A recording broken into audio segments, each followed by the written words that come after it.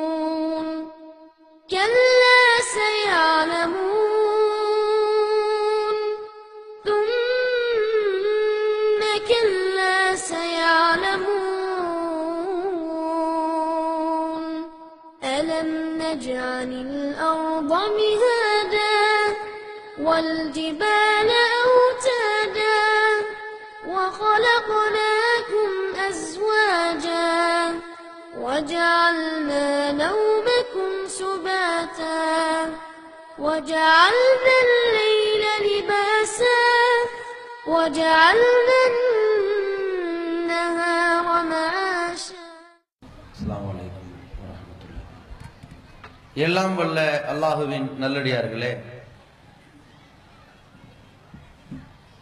இஸ்லாத்தில் முழுமையாக நுழைந்து விடுங்கள் என்கிற ஒரு தலைப்பு இந்த கூட்டத்திலே எனக்கு வழங்கப்பட்டிருக்கிறது.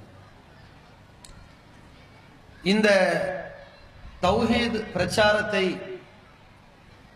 ஏகத்துவ கொள்கையை ஏற்றுக்கொண்ட மக்கள் இந்த ஊரிலே எடுத்து செல்கிற இந்த பயணத்திலே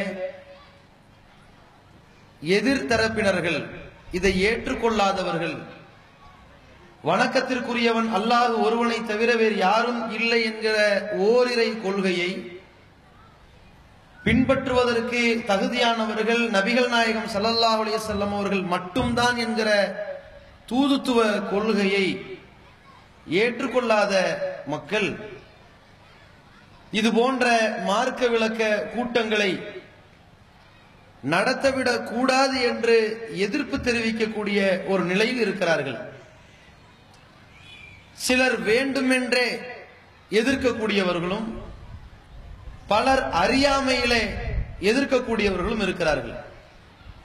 நாம் எதை சொன்னாலும் எதிர்ப்பதற்கும் விமர்சிப்பதற்கும் இருக்கின்ற மக்களுக்கு இன்றைக்கு வழங்கப்பட்டிருக்கிற இந்த தலைப்பு கூட ஒரு விமர்சனத்திற்குரியதாக இருக்கிறது. இஸ்லாத்தில் முழுமையாக நுழைந்து விடுங்கள் அப்படிங்கிற தலைப்பை பார்த்த உடனேயே உடனே அவர்கள் தரப்பிலிருந்து வரக்கூடிய பதில் நாங்கெல்லாம் முஸ்லீமா இல்லாம இருக்கிறோமா? இஸ்லாத்தை ஏற்றுக்கொள்ளாத காபீர்களா இறை நிராகரிப்பாளர்களா? இணை வைப்பாளர்களா? மாற்று மத ஆட்களா? நாங்க யாரு? அல்லாவை நம்பின முஸ்லீம்கள் தானே? அப்புறம் என்னத்தை போய் முழுசா நுழைஞ்சிருங்கன்னு எங்களை கூப்பிடுறீங்க? என்கிற மாதிரியான ஒரு கேள்வியை வைத்திருப்பதை பார்க்கிறோம்.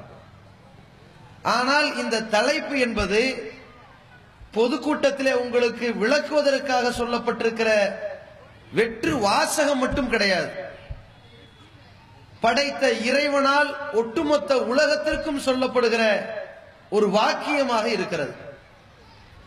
வல்ல இறைவன் தன் திருமறையிலே குறிப்பிடுகிறான் யா ஐயுகல்லதீன ஆமனு இறை நம்பிக்கை கொண்டவர்களே உதுகுலு ஃபிஸ்ஸில்மி காஃபா இஸ்லாத்திலே முழுமையாக நுழைந்து விடுங்கள். இஸ்லாத்தில் முழுமையாக நுழைந்து விடுங்கள் என்பதை இறைவன் தான் அந்த சமுதாயத்திற்கு சொல்கிறான்.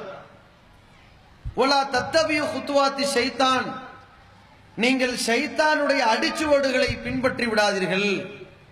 இன்னகூலக்கும் அதுவும் முபீன். அவன் தெளிவான பகிரங்கமான எதிரியாக இருக்கிறான் என்று சொல்லுகிறான். இந்த வசனத்தை ஏதோ இந்த செந்தாலை பட்டினத்தில் வாழுகிற மக்களுக்கு அல்லாஹ் இறக்கி வைத்தான் என்று புரிந்துவிடக் கூடாது. இதை யாருடைய காலத்திலே இந்த வசனத்தை அல்லாஹ் இறக்கி வைத்திருக்கிறான் என்றால் இந்த இஸ்லாமிய மார்க்கத்தை ஏற்றுக்கொண்ட உத்தம சத்திய சஹாபாக்கள் வாழ்கிற ஒரு காலகட்டத்திலே இந்த மார்க்கத்திற்காக எதையும் செய்ய வேண்டும் என்கிற தியாக உள்ளம் கொண்டவர்களிடத்திலே எப்படிப்பட்ட தியாகம்? மக்கமா நகரத்திலே இந்த மார்க்கத்தை எடுத்துக்கொண்ட ஏற்றுக்கொண்ட அந்த மக்கள் எந்த தருணத்திலும் எதிரிகளால் படுகொலை செய்யப்படலாம் என்று உயிருக்கு உத்தரவாதம் இல்லாத ஒரு நிலையிலே எப்பொழுது அல்லாஹுடைய உத்தரவு வரும் அறிவிப்பு வரும்? மக்காவில் இருந்து அபிசீனியா என்கிற ஊருக்கு நாம் நாடு துறந்து சென்று விடலாம் என்று காத்து கொண்டிருந்த மக்கள் எதிரிகளால் பாலைவன சுடு மணலிலே போட்டு புரட்டப்பட்டவர்கள் நெருப்பிலே போட்டு வாட்டி வதக்கப்படுகிற அளவிலே சித்திரவதைக்கு ஆளானவர்கள் சிறுவர்கள் கையிலே பிடிபட்ட நிலையிலே கற்களால் எரிபட்டு அடிபட்டு பாதிக்கப்பட்டவர்கள். ஒரு கட்டத்திலே அவுபக்கர் சித்திக் அலியில்லானவர்கள் அன்னலம் பெருமகனார் சல்லல்லா அலிசல்லாம் அவர்கள் இந்த மார்க்கத்தை ஏற்றுக்கொண்ட ஆரம்ப காலகட்டத்திலேயே இஸ்லாத்தை ஏற்றுக்கொண்ட ஒரு தோழர்.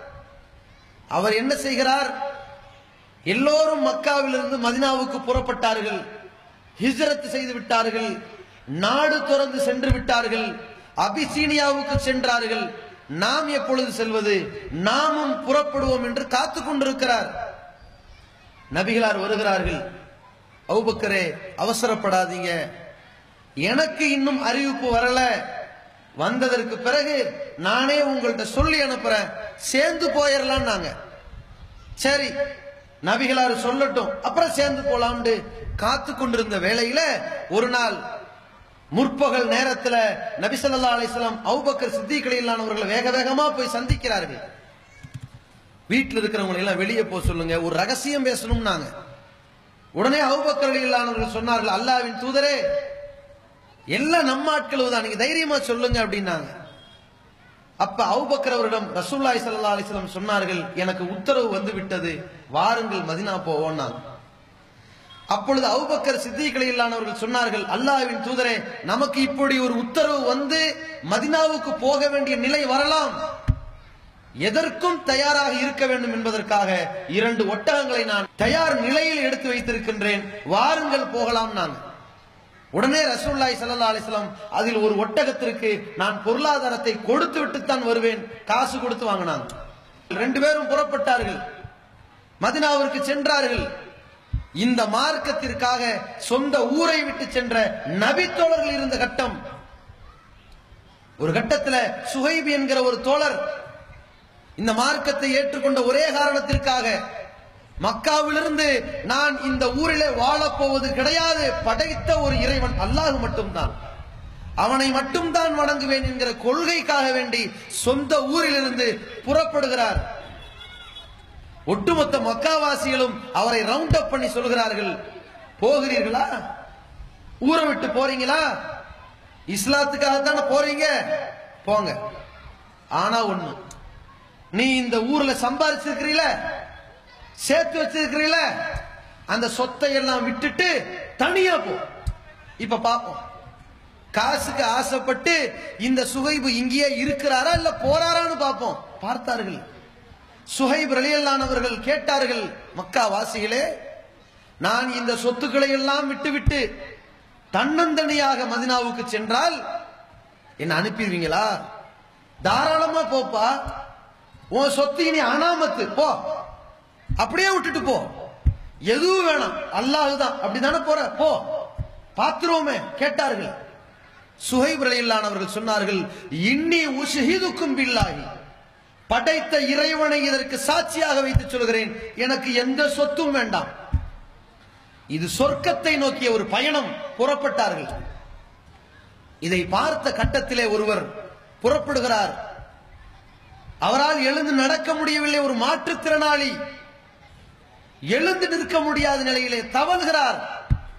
யாராவது என்னை இந்த இறை நிராகரிப்பாளர்களுடைய தேசத்திலிருந்து பாவிகளுடைய பகுதியிலிருந்து மதினாவிற்கு அழைத்து செல்ல மாட்டீர்களா? கேட்டார்கள். படைத்த இறைவனை மட்டும் வணங்குவதற்காக ஒரு நபித்தோழர் கேட்கிறார். என்னை தூக்கிச் செல்வதற்கு யாராவது வருவீர்களா? என்னால் நடந்து செல்ல முடியாத நிலையில் இருக்கிறேன். ஆனால் இன்னும் இந்த மக்காவில் என்னுடைய நாட்களை கடந்து செல்ல முடியாத நிலையில் இருக்கிறேன். போதும். மதினாவுக்கு நான் செல்ல வேண்டும். யாராவது தூக்கி போங்கன்னு கேட்டார்கள். யாரும் அவரை தூக்கிட்டு போகிற நிலையில் இல்லாத பொழுது தவழ்ந்தே புறப்பட முற்பட்டார்கள். மரணித்து விட்டார்கள். அந்த நேரத்தில் அல்லாஹ் சொல்கிறான் அல்லாஹுக்காக சொந்த பகுதியிலிருந்து அனைத்தையும் இழந்துவிட்டு நாடு துறந்து செல்கிறார்கள். அப்படி செல்ல முற்படுகிற பொழுது திடீரென்று மரணம் வந்து விட்டால் அவர்கள் எந்த நோக்கத்திற்காக புறப்பட்டார்களோ அந்த கூலியை பெறுவார்கள். அந்த எண்ணத்திற்கு அல்லாஹ் சொர்க்கத்தை வழங்குவான் என்கிற இறைவசனம் இறங்குகிறது. இப்படி இஸ்லாத்திற்காக வேண்டி இன்னுயிர் நீத்த சஹாபாக்கள். மதினாவிலே நபிகளாயம் சல்லா அலிஸ்லாம் அவர்கள் வந்த நேரத்தில் அவர்களை வரவேற்று அல்லாஹ்வுடைய தூதர் அவர்கள் மதினாவிலே நுழைகிற பொழுது ஒரு ஒப்பந்தத்தோடு வந்தார்கள். மக்காவிலே இருக்கிற பொழுது எதிரிகள் எந்த நேரத்தில் நபிகளாரை சாய்த்து விடலாம் மாய்த்து விடலாம் என்பதற்காக ஆளை காலி செய்து விடுவார்கள் என்பதற்காக அந்த சகாபாக்கள் பாதுகாப்பு கொடுத்திருந்தார்கள். ஒரு கட்டத்தில் மதினாவுக்கு அனுப்பி வைக்கிற பொழுது கேட்டார்கள் நாங்கள் எங்களுடைய தோழர் முகம்மதை இந்த மதினாவுக்கு அனுப்பி வைக்கிறோம். நன்றாக பார்த்துக் கொள்வீர்களா? அவருடைய உயிருக்கு உத்தரவாதம் கொடுப்பீர்களா? மெய் காவலர்களாக இருப்பீர்களா? யாரும் ஒன்றும் செய்ய முடியாத வகையில் கூடவே நின்று துணை நிற்பீர்களா? உத்தரவாதம் தாருங்கள். அப்படி செய்தால் நாங்கள் அனுப்பி வைக்கிறோம் என்றார்கள். மதினத்து அன்சாரி தோழர்கள் இஸ்லாத்திற்காக தங்களுடைய சொத்துக்களை சரிவாதி கொடுத்த தோழர்கள் தோட்டம் துறவுகளை எல்லாம் விட்டுக் கொடுத்த தோழர்கள் அர்ப்பணித்தவர்கள் அரும்பாடுபட்டவர்கள் அள்ளி கொடுத்தவர்கள். அல்லாவுடைய தூதருக்காக எங்கள் உயிரையும் கொடுக்க தயாராக இருக்கிறோம். வந்தார்கள். நபிகளாரிடத்தில் பேசுகிறார்கள் அல்லாஹுவின் தூதரே நீங்கள் எங்களை நம்பி மதினாவிற்கு வந்தால் எங்கள் உயிரை கொடுத்து உங்களை காப்பாற்றுவோம். ஆனால் நீங்கள் மதினாவிற்கு வந்ததற்கு பிறகு உங்களுடைய நம்பிக்கை கொண்ட தோழர்கள் அதிகரித்து விட்டால் மிக பிரம்மாண்டமான ஒரு வளர்ச்சியை பெற்றுவிட்டால் எங்களை கைவிட்டு விடுவீர்களா? கேட்டார்கள். ரசூல்லாய் சல்லா அலிஸ்லம் சொன்னார்கள் நான் உங்களோடு இருக்கிறேன். நீங்கள் என்னோடு இருக்கிறீர்கள். நான் எப்படி கைவிடுவேன்? கேட்டார்கள். பிறகு ரசூல்லா கேட்டார்கள் தோழர்களே நீங்கள் எனக்காக வேண்டி ஒரு உத்தரவாதம் கொடுக்கிறீர்கள். வருகிறேன். ஒரு கட்டத்திலே உங்களுடைய சொந்தக்காரர்கள் குலத்தார்கள் கூட்டத்தார்கள் என்று நீங்கள் சேர்ந்து விடுவீர்களா? கேட்டார்கள். அன்சாரி தோழர்கள் சொன்னார்கள் உங்களுடைய உயிரை காப்பதற்காக இந்த மார்க்கத்திற்காக எங்கள் சொந்தங்களை எல்லாம் பிரிந்து விட்டு வந்திருக்கிறோம். எங்களுடைய கோத்திரத்தார்கள் நண்பர்களை பிரிந்து விட்டு வந்திருக்கிறோம். எந்த கூட்டமும் சகவாசமும் எங்களுக்கு தேவையில்லை என்று வந்திருக்கிறோம். உங்களுக்கு நாங்கள் பொறுப்பு என்றார்கள். சரி போங்க. நான் வரேன். ரசூல்லா சொல்லி அனுப்புனாங்க. ரெண்டு ஆண்டுகள் கழிகிறது. மதினாவில் நுழைகிறார்கள். ஐநூறுக்கும் மேற்பட்ட நபித்தோழர்கள் மிகப்பெரிய அளவிலே ஒரு படை பட்டாளத்தோடு அல்லாவின் தூதரை வரவேற்கிறார்கள். நாங்கள் எப்படிப்பட்ட பாதுகாப்பு நிலையிலே இருக்கிறோம் தெரியுமா? காட்டுகிறார்கள்.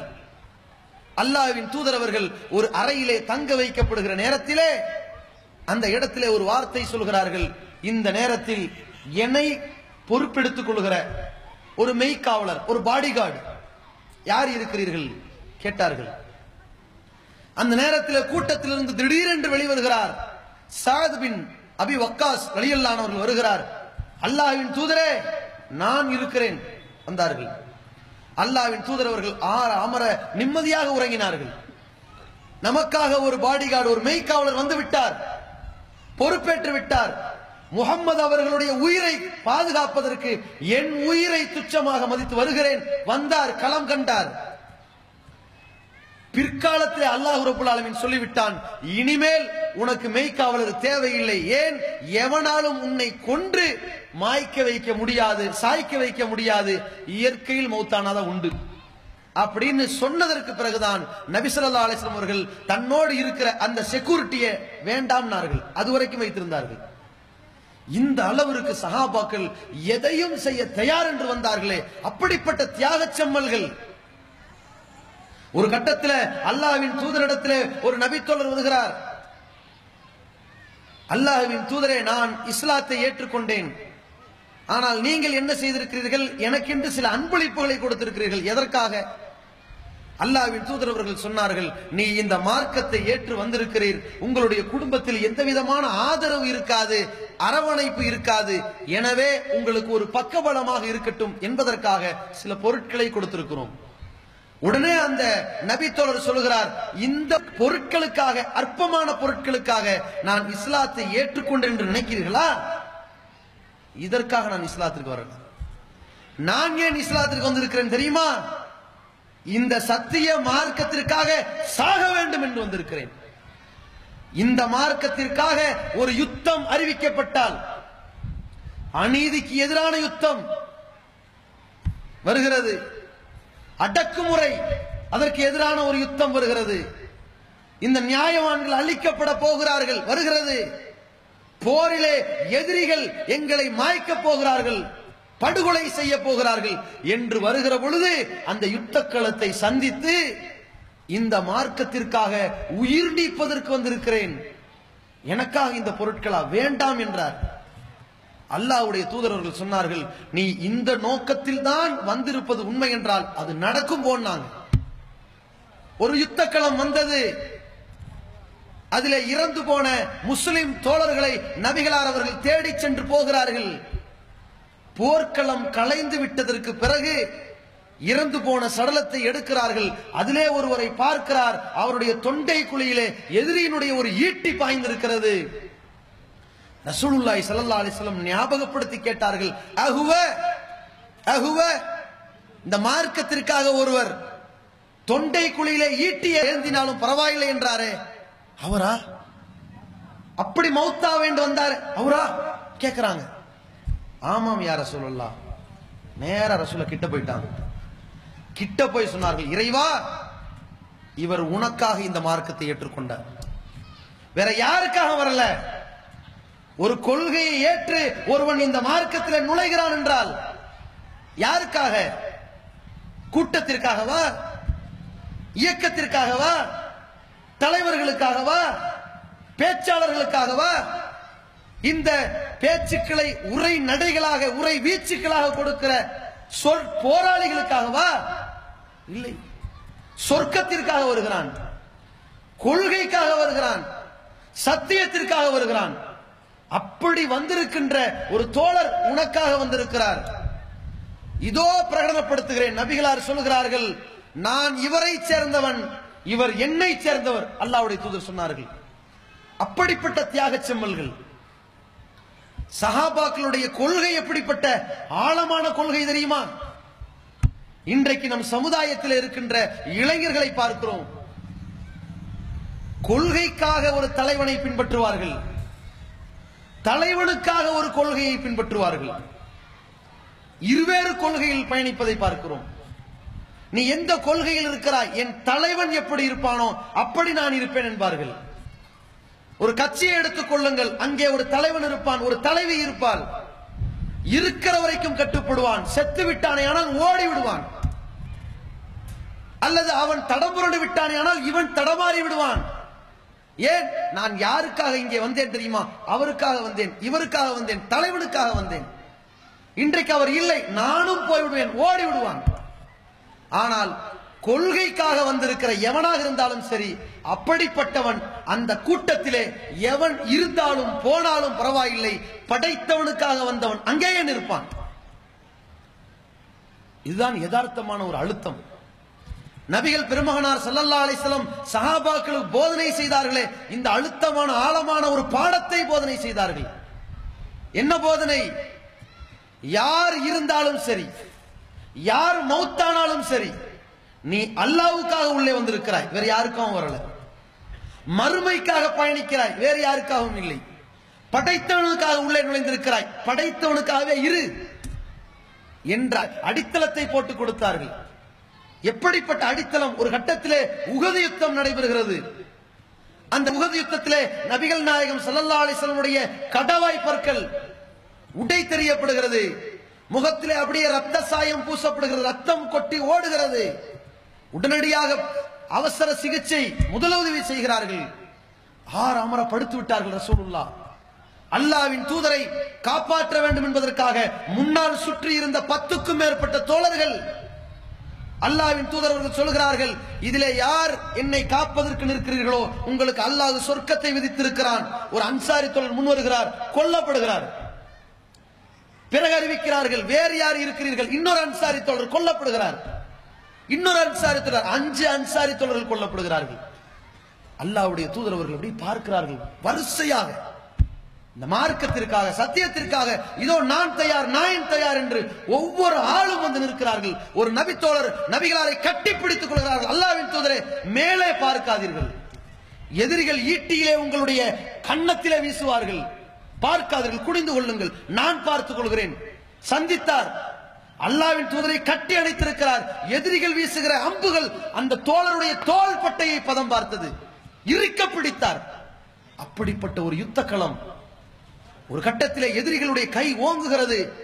அபு சுஃபியான் எதிர்ப்படையிலிருந்து கேட்கிறார். ஒரு கூடாரத்தில் நபிகள் நாயகம் கிடத்தப்பட்டிருக்கிறார்கள் படுக்க வைக்கப்பட்டிருக்கிறார்கள். கேட்கிறார் அஃபில் கௌமி முஹம்மத் என்ன இந்த கூட்டத்தில் முகமது இருக்கிறாரா? சொல்லுங்க எங்கப்பா உங்க தூதர் முகமது உங்க தலைவன் எங்க? கேட்டார்கள். இது தலைவனுக்காக வந்த கூட்டமா? கொள்கைக்காக வந்த கூட்டம். ரசூல்லா என்ன பண்ணாங்க? அவசரப்படாதீங்க. அவன் யார கேட்கறான் என்ன கேட்கறான் இதான் முக்கியம். நான் எப்படி இருக்கேங்கிறது சொல்றதா முக்கியம்? தேவை கிடையாது. பேசாதீங்க. லாத்து ஜீபு பதில் சொல்லக்கூடாது. சும்மா இருங்கண்டாங்க எங்கப்பா உங்க முகமதுன்னு கேட்டார்ல? எதிர்த்தரப்புல. அபு சுஃபியான். நபிகள் நாயகம் ஸல்லல்லாஹு அலிஸ்லாம் உமருக்கு சொல்றாங்க. பதில் சொல்லாதேன்டாங்க பேசாத. கேட்ட கேட்டு போறான். அவங்க என்ன பாக்குறாங்க சகா அல்லா திரு உங்களை கேட்கறாங்க. கேட்கட்டும். அதான் முக்கியம். நானா முக்கியம்? நீ யாருக்கு வந்திருக்க மார்க்கத்துக்கு வந்திருக்கிற. கொள்கைக்கு வந்திருக்கிற. ரசூலா என்ன பண்றாங்க? சும்மா கடாண்டாங்க பிறகு கேட்கிறார் அபு சுஃபியான். இந்த கூட்டத்தில் அவுபக்கர் இருக்கிறாரா? ரசூலா சொன்னாங்க சும்மா இரு. பதில் சொல்லாது. நீ யாருக்காண்டு வந்திருக்கிற? அவுபக்கருக்கா இல்ல. பதில் சொல்லாது. உமர் இருக்கிறாரா? பேசாதேண்டாங்க அப்புறம் தான் அபு சுஃபியான் ஆரம்பிக்கிறார். ஹுபலே இன்னைக்கு மலையாள சாஹிப்னு ஒரு அவுளியா நத்தர் சாங்கிற ஒரு அவுளியா முஹியதீன் அப்துல் கார் ஜீலானின் ஒரு அவுளியா இப்படி குட்டி குட்டி தெய்வங்களை வைத்துக் கொண்டு அல்லாவுக்கு இணை வைக்கிற துரோக செயலை இன்றைக்கு முஸ்லிம்கள் இஸ்லாத்தை அறியாமல் செய்து கொண்டிருக்கிற இதே போன்ற ஒரு வணக்க வழிபாடை தான் ஒரு துரோகத்தை தான் அன்றைக்கு மக்கத்து காபிர்கள் செய்தார்கள். அல்லாவை கடவுளாக நம்பினார்கள். படைத்தவன் அல்லாஹ் என்று நம்பினார்கள். ஆனால் அவுளியாக்கள் என்ற பெயரால் லாத்தி என்கிற அவுளியாவை நம்பினார்கள். உஸ்ஸா என்கிற அவுளியாவை நம்பினார்கள். மனாத் என்கிற அவுளியாவை நம்பினார்கள். அப்படிப்பட்ட இறைநேசர்களை இறைவனுக்கு சமமாக வைத்து தர்கா வழிபாடு நடத்தி கொண்டிருந்தார்களே அந்த பாவத்தின் காரணத்தினால் அத்தனை பேரும் காபீர்கள் அதை எதிர்த்த காரணத்தினால் இத்தனை பேரும் முஸ்லிம்கள். ரெண்டு பேருக்கு இடையில் யுத்தம் மூண்டது. அபு சுஃபியான் அந்த நேரத்திலே சொல்கிறார் முகமது இல்லை. அவுபக்கர் இல்லை உமர் இல்லை முடிஞ்சு போச்சு. டோட்டல் க்ளோஸ் சாப்டர் க்ளோஸ் ஏன்? தளபதிகளை காணும்டா. ஒரு இளவரசனை காணோம். ஒரு அரசனை காணோம். போச்சுல்ல? அப்ப சொல்கிறார் குபலே குட்டி தெய்வம். அவருக்கு ஒரு அவுளியா குபலுங்கிற அவுளியா. குபலே நீ உயர்ந்து விட்டாய். உன் கொள்கை மிகைத்து விட்டது. உன்னுடைய மார்க்கம் உயர்ந்து விட்டது. எப்படின்றார்? அப்ப ரசூல்லா கேக்குறாங்க இந்த அபு சுஃபியானுக்கு ஏன் பதில் சொல்லாம இருக்கிறீங்க? எந்த ரசூல்லா தன்னை பற்றி கேட்ட பொழுது பேசாதீர்கள் என்று சொன்ன ரசூலுல்லா அவுபக்கர் உமரை பற்றி சொல்கிற பொழுது ஒரு மனுஷனை பத்தி கேட்கிறான் பேசாத. அவன் அல்லாவுக்கு நிகராக ஹுபல் ஜெயித்து விட்டது என்றானே இப்பொழுது ஏன் மாலக்கும் அல்லா துஜீபு? ஏன் வாய திறக்காம இருக்கிறீங்க? சொல்ல பதில் என்னாங்க? உடனே சகாபாக்கள் கேட்கிறாங்க என்ன பதில் சொல்ல? என்ன பதில் சொல்லவா? அல்லாஹு அழலாவு அச்சல் யாருடா உயர்ந்தவங்கிற? எங்கள் இறைவன் உயர்ந்தவன். சொல்லு பதில் என்னாங்க உமர் எந்திரிச்சிட்டார். யாரை கேட்கிறாய்? அபு சுபியான் திணறார். எந்த உமர் மௌத்தாயிட்டார் நினைச்சோமோ? எந்திரிச்சு வராரேப்பா. அப்ப மௌத்தாகல படைத்த அல்லாஹ் உயர்ந்திருக்கிறான். பதிலடி சொன்னார். அந்த செய்தி நமக்கு சொல்லித் தருகிற பாடம் என்ன தெரியுமா? இந்த மார்க்கத்தை ஏற்றுக்கொண்டிருக்கிற முஸ்லிம்களுக்கு கொள்கை தலைவனை தவிர தலைவன் கொள்கை கிடையாது. இப்படியெல்லாம் மன உறுதியோடு இருந்த நபித்தோழர்கள் அசாத்திய பலம் கொண்டவர்கள் இந்த மார்க்கத்திற்காக வேண்டி எப்படிப்பட்ட தியாகத்தையும் செய்ய முன்வந்த செம்மல்கள் எப்படிப்பட்ட நன்மையான காரியங்களாக இருந்தாலும் நான் அதில் முந்தி வருவேன் என்று ஓடி வந்தவர்கள் சொர்க்கமா அதில் நான் இருக்க வேண்டாமா என்று ஆசைப்பட்டவர்கள் ஒரு கட்டத்திலே நபிகள் பெருமகனார் சல்லல்லா அலிஸ்லாம் அவர்கள் சொல்கிறார்கள் மறுமையிலே ஒரு வாசல் இருக்கிறது. தொழுகை என்கிற ஒரு வாசல். யார் தொழுகிறார்களோ அதிலே மிகைத்திருக்கிறார்களோ அதில் மிகச் சரிவர நடக்கிறார்களோ அவர்கள் அந்த வாசலில் அழைக்கப்படுவார்கள். ரையான் என்கிற ஒரு வாசல் இருக்கிறது நோன்பாளிகள் அதிலே அழைக்கப்படுவார்கள். சதக்கா என்கிற ஒரு வாசல் இருக்கிறது தர்மம் செய்தவர்கள் அதிலே அழைக்கப்படுவார்கள். தொழுகையை விட நோன்பை விட அதை சரியாக செய்திருந்தாலும் தர்மத்தை அதிகம் அதிகம் செய்பவர்கள். அதிலே அழைக்கப்படுவார்கள். போராளிகள் அந்த ஜிஹாத் என்கிற வாசலில் அழைக்கப்படுவார்கள். இப்படியே அடுக்கிறாங்கிற சூழ்நிலா உடனே அவுபக்கர் சித்திகளையிலானவர்கள் எழுந்து கேட்கிறார்கள் அல்லாஹ்வின் தூதரே ஒவ்வொருவரும் அவருடைய நற்காரியத்திற்காக அந்தந்த வாசலெல்லாம் அழைக்கப்படுவார்கள் என்று சொல்கிறீர்களே அனைத்து வாசலிலும் அழைக்கப்படுகிற எந்த நல்லவராவது இருக்கிறாரா? அப்படி கேட்டார்கள். நம்ம நினைச்சிருப்போம்? ஆக மொத்தத்தில் நம்மள்ட்ட தொழுகை அது ஓட்ட. நோன்பு ஓட்ட. ஒன்றும் பேராது போல. இப்படி நினைப்போம். சஹாபி அவுபக்கர்லாம் கேட்டாங்க அல்லாவின் தூதரே அம்புட்டு வாசல்ல அழைக்கப்படுகிற ஒரு வாய்ப்பு இருக்குமான்னு கேட்டார்கள். ரசூல்லா இஸ்லாம் சொன்னார்கள் அர்ஜு அன் தக்கூன மின்கும் இருக்கிறது. சில பேர் எல்லா வாசலில் இருந்து கூப்பிடப்படுவார்கள் வாப்பா நீங்க வங்க வா என்று தொழுகை வாசல் நோம்பு வாசல் சக்காத்து வாசல் ஹஜ் வாசல் அம்புட்டில் அழைக்கப்படுவார்கள். அதில் அவுபக்கரே நீங்கள் தான் இருப்பீர்கள். உங்களை தான் கூப்பிட போறாங்க என்றார்களே. அப்படி சொர்க்கத்தை நோக்கிய ஒரு பயணம் ஒரு ஆர்வம் ஒரு அக்கறை இருந்தது. எப்படிப்பட்ட அக்கறை தெரியுமா? சஹாபாக்கள் ரசூல்லாவிடத்தில் வருகிறார்கள். அந்த கட்டத்திலே ரசூல்லா இஸ்லாம் சொல்கிறார்கள் எழுபதாயிரத்திற்கும் மேற்பட்டவர்கள். அந்த எழுபதாயிரம் பேர் கேள்வி கணக்கு இல்லாமலே டைரக்டா சொர்க்கத்துக்கு போவார்கள். அந்த கேள்வி கணக்கு இல்லாமல் சொர்க்கத்திற்கு செல்லக்கூடிய அந்த தகுதி படைத்தவர்கள் யார் தெரியுமா? அவர்கள் சகுனம் பார்க்க மாட்டார்கள். நல்ல நாள் கெட்ட நாள் நல்ல நேரம் கெட்ட நேரம் நல்ல மாசம் பீட மாசம் நல்ல கலரு பீட பிடிச்ச கலரு கருப்பு கலரு மஞ்சள் கலர் பார்க்க மாட்டார்கள். அவர்கள் நெருப்பு பயன்படுத்தி மருத்துவம் செய்ய மாட்டார்கள். அவர்கள் ஓதி பார்க்க மாட்டார்கள். அல்லாஹ் மீது உறுதியான நம்பிக்கை வைத்திருப்பார்கள். கேள்வி கணக்கு இல்லாமலே சொர்க்கத்திற்கு போவார்கள். அல்லாஹ்வின் தூதரவர்கள் சொன்ன உடனேயே ஒகாஷா என்கிற நபித்தோழர் அங்கே இருக்கிறார். அல்லாஹ்வின் தூதரே அதுல நானும் இருப்பனா? கேட்டார்கள். எப்படி ஒரு ஆசை? உடனே ரசூல்லா இஸ்லாம் சொன்னார்கள் ஆமாம் நீ இருப்பாய். இன்னொரு சகாவி பார்க்கிறார் ஓஹோ இப்படி கேட்டா நம்ம இருந்துருவோம் போல இருக்குது. இன்னொருத்தர் அல்லாஹ்வின் தூதரே நான் இருப்பனாண்டு. சபக்க பிஹா ஒகாஷா. அடடா ஒகாஷா அவங்கள முந்திட்டாரு. அல்லாஹ் சொல்லிட்டான் போல இருக்கு. இந்த செய்தியை சொன்ன உடனே யாரு ஃபர்ஸ்ட் கேட்கறாங்களோ அவங்களுக்கு அந்த செய்தி கோட்டா இருக்குன்னு சொல்லியிருக்கு ஃபர்ஸ்ட் கேக்குற ஆளுக்கு. அடுத்து கிடையாது. அப்ப ஒக்காஷா கேட்டார் அல்லாவின் சுதரே அந்த கேள்வி கணக்கு இல்லாமலே சொர்க்கத்திற்கு போவார்கள் அதுல நான் இருப்பேனா? ஆமாம் இருப்பாயின்டாங்க ரெண்டாவது ஒரு சகாபி அப்ப நான் இருப்பேனாண்டாங்க ஒக்காஷா முந்திட்டாரப்பா. சகாபாக்கள் எப்படி ஒரு ஆர்வம் பார்த்தீர்களா? சொர்க்கத்தை நோக்கிய ஒரு பயணம் நன்மையை நோக்கிய ஒரு விரைவு அல்லாஹ் சொல்கிறான் அல்லாஹுவை நம்பி இருப்பார்கள் மறுமை நாளை நம்பி இருப்பார்கள். யூமின் பில்லாகி படைத்த இறைவனை நம்பி ஒல் யோமில் ஆஹிர் இறுதி நாளை நம்பி தொழுகையை நிலைநாட்டி சக்காத்தை கொடுத்து யுசாரி ஊனஃபில் ஹைராத் நற்காரியங்களில் விரைந்து பணி செய்திருக்கிற தோழர்கள் சாதாரண ஆட்கள் நினைத்து விட்டீர்களா? நபித்தோழர்கள் யார்? அல்லாவுடைய தூதர் சொன்னார்கள் லா தசுபு அஸ்ஹாபி. என் தோழர்களை நீங்கள் திட்டி விடாதீர்கள். என் தோழர்கள் எப்படிப்பட்டவர்கள் தெரியுமா? அவர்கள் ஒரு கையளவு தர்மம் கொடுத்தா போதும். அந்த அரை கையளவு கோதுமை அள்ளி கொடுத்தால் போதும். அந்த தர்மத்தை அதற்கான கூலியை நீங்கள் ஈடாக பெறுவதற்கு இந்த நபி தோழர்கள் ஒரு கையளவு கோதுமையை தர்மம் கொடுத்ததற்கான கூலி கிடைக்கிறது. படைத்தனிடமிருந்து ஒரு சிறப்பு கிடைக்கிறது. அந்த சிறப்பை நீங்கள் பெறுவதற்கு உகது மலை அளவு பல கோடி டன் கணக்கில் தங்கத்தை கொட்டி கொடுத்தாலும் அந்த நன்மை கிடைக்காதுங்கிற சொல்லலாம் அவ்வளவு இഖலாஸ் அவ்வளவு மன தூய்மை அவ்வளவு இரையச்சம். இரையச்சத்தினுடைய உச்சகட்டம் அப்படிப்பட்ட தோழர்கள். நன்மையை நோக்கினால் அவ்வளவு விரைவு. ஒன்றுக்கும் வசதி இல்லாத நிலையிலே திண்ணை தோழர்களாக பள்ளியிலே கடத்தப்பட்டார்கள் அந்த நபி தோழர்கள் ரசூலாவிடத்தில் ஓடி வருகிறார்கள். அல்லாவின் தூதரே அன்சாரி தோழர்கள் இருக்கிறார்களே வசதி படைத்தவர்கள். அவர்களும் தொழுகிறார்கள் நாங்களும் தொழுகிறோம். நாளை மறுமையிலே தொழுகை என்று வருகிற பொழுது ஒரே நிலை இருக்கும். அவர்களும் நோன்பு வைக்கிறார்கள் நாங்களும் நோன்பு வைக்கிறோம். நோன்பு என்று வந்தால் ஒரே நிலையில் இருப்போம். அவர்கள் சக்காத்து கொடுக்கிறார்கள் தர்மம் செய்கிறார்கள். ஆனால் எங்களுக்கு தர்மம் செய்வதற்கு பொருளாதாரம் இல்லையே என்று கேட்டார்கள். உடனே ரசூல்லாய் சல்லா அலிஸ்லாம் பார்த்தார்கள் அப்ப என்ன செய்வது? உங்களிடத்தில் தர்மம் செய்வதற்கு ஒன்றுமே இல்லை. என்ன செய்வது? குள்ளு தஸ்பீஹின் சதக்கா. ஒவ்வொரு சுபஹான் அல்லாஹ் ஒரு தர்மம் என்றார்கள். தஹ்மீதின் சதக்கா. அல்ஹம்துல்லா சொல்றீங்களே ஒரு தர்மம் நாங்க.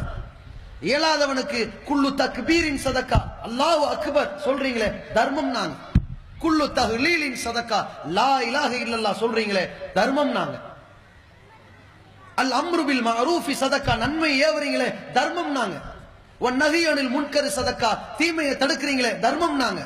இமாத்தத்துல் அதானி தரிக்கு சதக்கா. பாதையிலே தீங்கு தருகிற பொருட்களை துப்புரவு செய்கிறீர்களே தர்மம் நார்கள். கவுலும் மஅரூஃபுன் சதக்கா. நல்ல வார்த்தைகளை பேசுகிறீர்களே தர்மம் என்றார்கள். அடுக்கினார்கள் குள்ளும் அரூஃபின் சதக்கா. எல்லா நற்காரியம் தர்மம் போ. அவன் தர்மம் செய்ய செஞ்சான்ல. தர்மத்தினால் அவன் தர்மகத்தாவாக மறுமையிலே சொர்க்கத்திற்கு வருவான் நினைக்கிறிய? அத்தனை தர்மத்தையும் நீயும் செய்து அந்த நிலைக்கு வருவதற்கு இதையெல்லாம் செய்யுங்க நாங்க. இதை பார்த்துட்டு சகாபாக்கள் முஹாஜிர்கள் மக்காவிலிருந்து மதினாவிற்கு சொத்துக்களை எல்லாம் சொந்தங்களை எல்லாம் விட்டு விட்டு வந்த தோழர்கள் ஒன்றும் இல்லாத நிலையில் இந்த நற்காரியங்களை தர்மங்களாக செய்து வந்தார்கள். அப்படி செய்து வந்த தோழர்களை பார்த்து அன்சாரி தோழர்கள் ஓஹோ இனிமேல் நாமும் தான தர்மங்களும் வழங்கலாம். நாமும் சுபானல சொல்லலாம். நாமளும் அலகம்துல்லா சொல்லுவோம். நாமளும் அல்லாவுக்கு சொல்லுவோம். நன்மைகளை செய்ய ஆரம்பித்து விட்டார்கள். பார்த்தாங்க முஹாஜிர்கள். அல்லாஹ்வின் தூதரே இப்போ அவங்களும் அதை செய்ய ஆரம்பிச்சிட்டாங்கன்னா எங்களை விட அவங்க அதிகமாயிருவாங்களேன்னு கேட்டார்கள். அப்ப ரசூல்லா சொன்னாங்க இதுக்கு மேல என்னால வழி சொல்ல முடியாதுப்பா. இதான் என்னால முடிஞ்சதுன்னாங்க ஏன்? அவ்வளவு ஆர்வம். ஒரு சொர்க்கம் வேண்டுமா? எதையும் இழக்க தயார். அல்லாஹ் சொல்கிறானே இன்னல்லா இஸ்தராமினல் மூமினின் அன்புசகும் அம்பாலகும் அன்னலகும் ஜென்னா. இறை நம்பிக்கை கொண்டவரிடத்தை அல்லாஹ் விலைக்கு வாங்கி கொண்டான். என்ன தெரியுமா? உனக்கு சொர்க்கம் வேண்டுமா? உன் சொத்தை கொடு. உனக்கு சொர்க்கம் வேண்டுமா? உன் உயிரை கொடு. சஹாபாக்கள் ஏற்றுக்கொண்டார்கள் அந்த வியாபாரத்திற்கு உடன்பட்டார்கள். நான் சுவனத்தை பெறுவதற்கு என் சொத்துக்களை தர தயார். எடுத்துக்கங்க. இந்த சொர்க்கத்தை பெறுவதற்கு என் உயிரையே விட்டு கொடுக்க தயார். எடுத்துக்கொள்ளுங்கள் வந்தார்கள். போர்க்களத்திலே கையிலே பேர்ச்சம்பளத்தை வைத்திருந்தவர் அந்த யுத்த களத்திலே ஷஹீதாகிவிட்டால் சூனத்தில் நுழைந்து விடலாம் என்பதற்காக ஒரே ஒரு நற்செய்திக்காக இருக்கின்ற பேர்ச்சம்பளங்களை எரிந்துவிட்டு களத்திலே குதித்து ஷஹீதானார்களே அப்படிப்பட்ட ஒரு தியாக செம்மல்கள். இன்னொரு கட்டத்திலே பொருளாதாரங்களை வாரி வழங்கியவர்கள். இந்த உலகத்தில் எப்படிப்பட்ட சங்கடங்களையும் எதிர்கொண்டவர்கள். ஒரு வழிப்பு நோய்க்கு ஆளான ஒரு பெண் ரசூலுல்லாவிடத்தில் வருகிறார்கள். அல்லாவின் தூதரே நான் வழிப்பு நோயால் பாதிக்கப்படுகிறேன். எனக்கு வலிப்பு நோய் இருக்குது. முடிய மாட்டேங்குது என்னால. என்ன செய்யறதுன்னு தெரியல. அல்லாவிடத்திலே நீங்கள் துவா செய்யுங்க. எனக்கு நோய் நிவாரணம் கிடைக்க வேண்டும். கேட்டார்கள். உடனே ரசூல்லா இஸ்லாம் சொன்னார்கள் உளவு சீர்த்தி சொபர்த்தி வழக்கில் சென்னா பெண்ணே நீ கொஞ்சம் பொறுத்துக்கிட்டேன்னா உனக்கு சொர்க்கம் கிடைக்கும். இந்த உலகத்துல எப்பெல்லாம் வலிப்பு நோய் வெட்டு வருதோ விழுந்து திணறையோ கொஞ்சம் பொறுத்துக்கிட்டேன்னா அந்த நோயை சகித்து கொண்டால் உனக்கு சொர்க்கம் கிடைக்கும். என்ன செய்யறேன்னு கேட்டார்கள். வேண்டாம் எனக்கு அதெல்லாம் சகிச்சுக்க முடியாதுன்னு நான் வேணா துவா செய்யறேன் இந்த நோயிலிருந்து விடுபடுவதற்கு ரசூலுல்லா ஒரு துவா செய்வார்களே ஆனால் ஒரு இறைவனிடத்தில் ஒப்புக்கொள்ளத்தக்க வாய்ப்பு இருக்குல்ல. ரசூலா இஸ்லாஸ்லாம் அழகா வைத்தார்கள். நான் துவா செய்யறேன் அந்த துவாவின் அடிப்படையில் நிவாரணம் கிடைக்கலாம். ஆனால் நீ பொறுத்துக்கிறேன்னு சொன்னா நோய் இருக்கும் விலகாது. ஆனா சொர்க்கம் கிடைக்கும். என்ன ஏத்துக்கிற? அந்த அம்மா சொன்னாங்க நான் பொறுத்துக்கிறேன்டாங்க. வலிப்பு நோய்க்கு நான் உங்கள்ட்ட முறையிடல நான் பொறுத்துக்கிறேன். எனக்கு சொர்க்கம் தான் முக்கியம் கடந்து போயிட்டார்கள். இப்படிப்பட்ட அந்த செய்தியை பார்க்கிறோம். எந்த ஆணாகட்டும் பெண்ணாகட்டும் நபி தோழர்களில் தோழியர்களில் சுவனத்தை நோக்கிய ஒரு ஆர்வம். எந்த தீமையான காரியங்களா இருந்தாலும் ரசூலுல்லாய் ஸல்லல்லாஹு அலைஹி கண்டித்து விடுவார்களே ஆனால் ஒரு எச்சரிக்கை. எந்த தீமைகளாக இருந்தாலும் சரி அப்படியே விறுவிறுப்போடு வீரியத்தோடு களம் கண்டு விடுவார்கள். வேண்டாம். எந்த தீமையிலிருந்தும் நாம் விலகி இருக்க வேண்டும் என்கிற முன்னெச்சரிக்கை நடவடிக்கையோடு இருப்பார்கள் சஹாபாக்கள். எப்படி? ஒரு கட்டத்தில் அல்லாவின் தூதர் அவர்களிடத்திலே அறிவிப்பு செய்யப்படுகிறது. இந்த முகமது இருக்கிறாரே பஞ்சத்திற்கு பயப்படாமல் வறுமைக்கு பயப்படாமல் அள்ளி அள்ளி கொடுத்து கொண்டே இருப்பார். யாருக்கு என்ன வேணாலும் வாங்கிக்கேண்டாங்க அதுல ஒரு நபித்தோழருடைய தாயார் சொன்னாரு ஏன்பா எல்லாரும் நபிகளாட்டு போய் எனக்கு அதை கொடுங்க இதை கொடுங்க ஆட்டு மந்தைய கொடுங்க ஒட்டகத்தை கொடுங்க எல்லாம் வாங்கிட்டு வராங்க. நீயும் போய் ஏதாவது கேட்க வேண்டியதானு கேட்டாங்க. உடனே அவர் என்ன பண்ணிட்டாரு? ஆமா கேட்டா கொடுப்பாராம்ல. நேர ரசூல்லாட்ட போய் கேட்கறக்கா வேண்டி கூட்டத்துல ஒரு ஆளா நின்ட்டாங்க. அப்ப ரசூல்லா ஒன்னு அறிவிக்கிறாங்க தோழர்களே ஒரு குறிப்பிட்ட அளவு கோதுமை யாரிடத்துல இருக்கிறதோ அவர்கள் இங்கே யாசகம் கேட்கக்கூடாது. அதை விட குறைந்த நிலையில் உள்ளவர்கள் என்ன வேணாலும் கேளுங்க நான் தரேன். அறிவிச்சிட்டாங்க. பார்த்தாரு. ஆஹா நம்ம ஒட்டகத்தில் வந்திருக்கிறோம். ரசூல அறிவிச்ச அளவை விட கூடல நம்மகிட்ட இருக்கு? பேசாம திரும்பி போயிட்டாங்க. ஏன்? இந்த யாசகம் கேட்ட நிலை சுயமரியாதை இழந்த நிலை நமக்கு வரக்கூடாது. அப்படி சகாபாக்களுக்கு ஒரு இரையச்சம். நபித்தோழர்களிடத்தில் அந்த இரையச்சத்தினுடைய வெளிப்பாடு எந்த அளவுக்கு தெரியுமா? நபிகளாருடைய முகத்தை பார்த்து முடிவெடுப்பார்கள். நபிகள் நாயகம் சல்லல்லா அலிஸ்லாம் அவர்கள் ஒரு கட்டத்திலே அலிரலியல்லானவர்களை பார்க்கிறார்கள். அலிரலியல்லானவர்கள் பட்டாடை போட்டிருக்கிறார்கள். நபிகளார்கள் பார்த்தார்கள் கண்டிக்கவில்லை. கடிந்து பேசவில்லை. எதிர்த்து திட்டவில்லை. இப்படி முறைத்தார்கள். கண்கள் சிவந்தது அவ்வளவுதான். அழி புரிந்து கொண்டார் இது நபிகளாருக்கு பிடிக்கவில்லை. இது தவறு. இது குற்றம். மார்க்கத்தில் தடை செய்யப்பட்டது. கலட்டிட்டு போய் கொடுத்துட்டு பேசாம. வேண்டாம். எது இந்த மார்க்கத்தில் தடை செய்யப்பட்டதோ அது எனக்கு தேவை கிடையாது. தீமை விட்டு அவ்வளவு விரைந்து ஓடி வந்தார்கள். அப்படிப்பட்ட சஹாபாக்கள் வாழ்ந்திருந்த காலகட்டத்திலே அல்லாகவே அவர்களை பற்றி பேசுகிறான். ரவி அல்லாஹு அணுகும் அவர்களை அல்லாஹ் பொருந்தி கொண்டான். அத்தனை பேரையும் அல்லாஹ் பொருந்தி கொண்டான். ஒரு அணு அணுகும் தங்களுடைய துன்பங்களில் துயரங்களில் கஷ்டங்களில் சிரமங்களில். அல்லாஹுவை அவர்களும் திருத்தி கொண்டார்கள் என்று அல்லாஹு சொல்கிறானே அப்படிப்பட்ட தோழர்கள் வாழ்கிற பொழுதுதான் அல்லாஹ் ஒரு வசனத்தை இறக்கி வைக்கிறான். இறை நம்பிக்கை கொண்டவர்களே நீங்கள் இன்னும் இஸ்லாத்தில் முழுமையாக நுழையல. உதுகுழு இந்த மார்க்கத்தில் முழுசா நுழைஞ்சிருங்க. அப்படி நீங்க நுழையில ஏதோ ஒரு மிஸ்டேக் உங்கள்ட்ட இருக்குது. வலா தத்தபியு குத்துவாத்தி சைத்தான் சைத்தானுடைய அடிச்சுவிட பின்பற்றிடாதீங்க எப்ப நீங்க இந்த மார்க்கத்தில் முழுமையா நுழையிலையோ சைத்தான் பின்னாடி போய்கிட்டு இருக்கிறீங்க. என்று அல்லாஹு ரபுல் ஆலமின் இரையச்சத்திலே உயர்ந்த இலக்கை அடைந்தவர்கள் மன தூய்மையிலே மிகப்பெரிய மாண்பை அடைந்தவர்கள் தியாக செம்மல்களாக இருந்த நபித்தோழர்களுக்கு இறக்கி வைத்த ஆயத்து இது. அப்படிப்பட்ட தியாகிகளுக்கே இப்படி ஒரு கட்டளை என்றால் நாமெல்லாம் என்னத்தை செஞ்சு கிழிச்சிட்டோம். யோசிச்சு பாருங்க. நம்மிடத்துல கொள்கை தெளிவு இருக்கிறதா? லா இலாக இல்லல்லா. இருக்கா தெளிவு? இல்லையே. வணக்கத்திற்கு தகுதியானவன் அல்லாஹ் ஒருவனை தவிர வேறு யாரும் இல்லை. அர்த்தம் என்ன? கல் இல்லை கபரி இல்லை மரம் இல்லை மகான் இல்லை ஜண்டா கொடி இல்லை மட்டை இல்லை தாயத்து இல்லை தட்டு இல்லை தகடு இல்லை எதுவும் இல்லை. இதானங்க கொள்கை. இதுல தெளிவா இருக்கிறோமா? நம்ம என்ன பண்றோம்? லா இலாஹ இல்லலா சொல்றோம். அம்பட்டு பேருக்கு தெரியுது. தொழுகைக்கு அஞ்சு வேலை தொழுகை கூப்பிடுறோம். அஷாது அல்லா இலா இல்ல கூப்பிடுறோம். இக்காமத்துக்கு அஷாது அல்லா இலா இல்ல சொல்றோம். தொழுகையிலே ஐயாக்க நான் அபுது ஐயாக்க நஸ்தகின் இறைவா ஒன்ன மட்டும் தான் வணங்குறேன். உன்கிட்ட மட்டும் தான் உதவி தேர்றேன் சொல்றோம். ஆனால் தொழுகையை முடித்துவிட்டு இறந்து போனவரிடத்திலே கையேந்துகிறோமே? அல்லாஹ் எப்படி அரியாபுரத்திலிருந்து நமக்கு உதவுவானோ? நோய் நிவாரணம் வழங்குவானோ? மறுமையிலே சுவனத்தை அள்ளி கொடுக்க போகிறானோ? அந்த ஆற்றல் இறந்து போனவருக்கு இருக்கிறது. அவர் நமக்கு சிபாரிசு செய்வார் அள்ளி கொடுப்பார் நோய் நிவாரணங்களை போக்குவார் என்று இறைவனுக்கு துரோகம் செய்து கொண்டிருக்கிறார்களே இவர்கள் சைத்தானின் அடிச்சுவட்டை பின்பற்றுகிறார்கள் என்று புரிய வேண்டாமா? யோசிச்சு பார் இந்த தெளிவான ஏகத்துவம் நம்மிடத்திலே முழுமையாக வந்து சேரலையே. லாயிலாக இல்லல்லாக என்று சொல்லிக் கொண்டிருக்கிற மக்கள் மக்கா காபிர்கள் அபூஜகல் இடத்துல இருக்கிற கொள்கை அல்லவா பின்பற்றுகிறார்கள்? ஏன் மக்கா காபிர்களுடைய கொள்கை என்று சொல்கிறோம் என்றால் அந்த மக்கா வாசிகள் மக்கத்து காபிர்கள் அல்லாஹ் நம்புனா? இது வரலாற்று தகவலாக நான் சொல்லவில்லை. அல்லாஹ்வுடைய ஆயத்து குறிப்பிடுகிறது. அல்லாஹ் கேட்கிறான் வள இன்சல் தகும் மண் கலக்க சமாவாத்தி வல்லரல் நபியே முகமதே அவரிடத்துல கேளுங்க. மக்கால வாழ்றான்ல? இந்த அபுஜகலு உத்துபா செய்பா உமையா நபிகளாருக்கு எதிர்காலத்தில் இருந்த குற்றவாளிகள் கயவர்கள் காபிர்கள் கேளுங்க.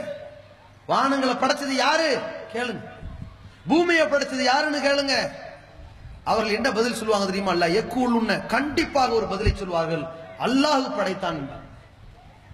அல்லாஹ் சொல்றான் மக்கத்து காபிர்கள் தன்னை படைத்தது யார்? வானத்தை படைத்தது யார்? பூமியை படைத்தது யார்? சூரியன் சந்திரனங்களை படைத்தது யார்? அதை கட்டுப்பாட்டில் வைத்திருப்பவன் யார்? செத்து போன பூமிக்கு மலையை இறக்கி வைத்தவன் யார்?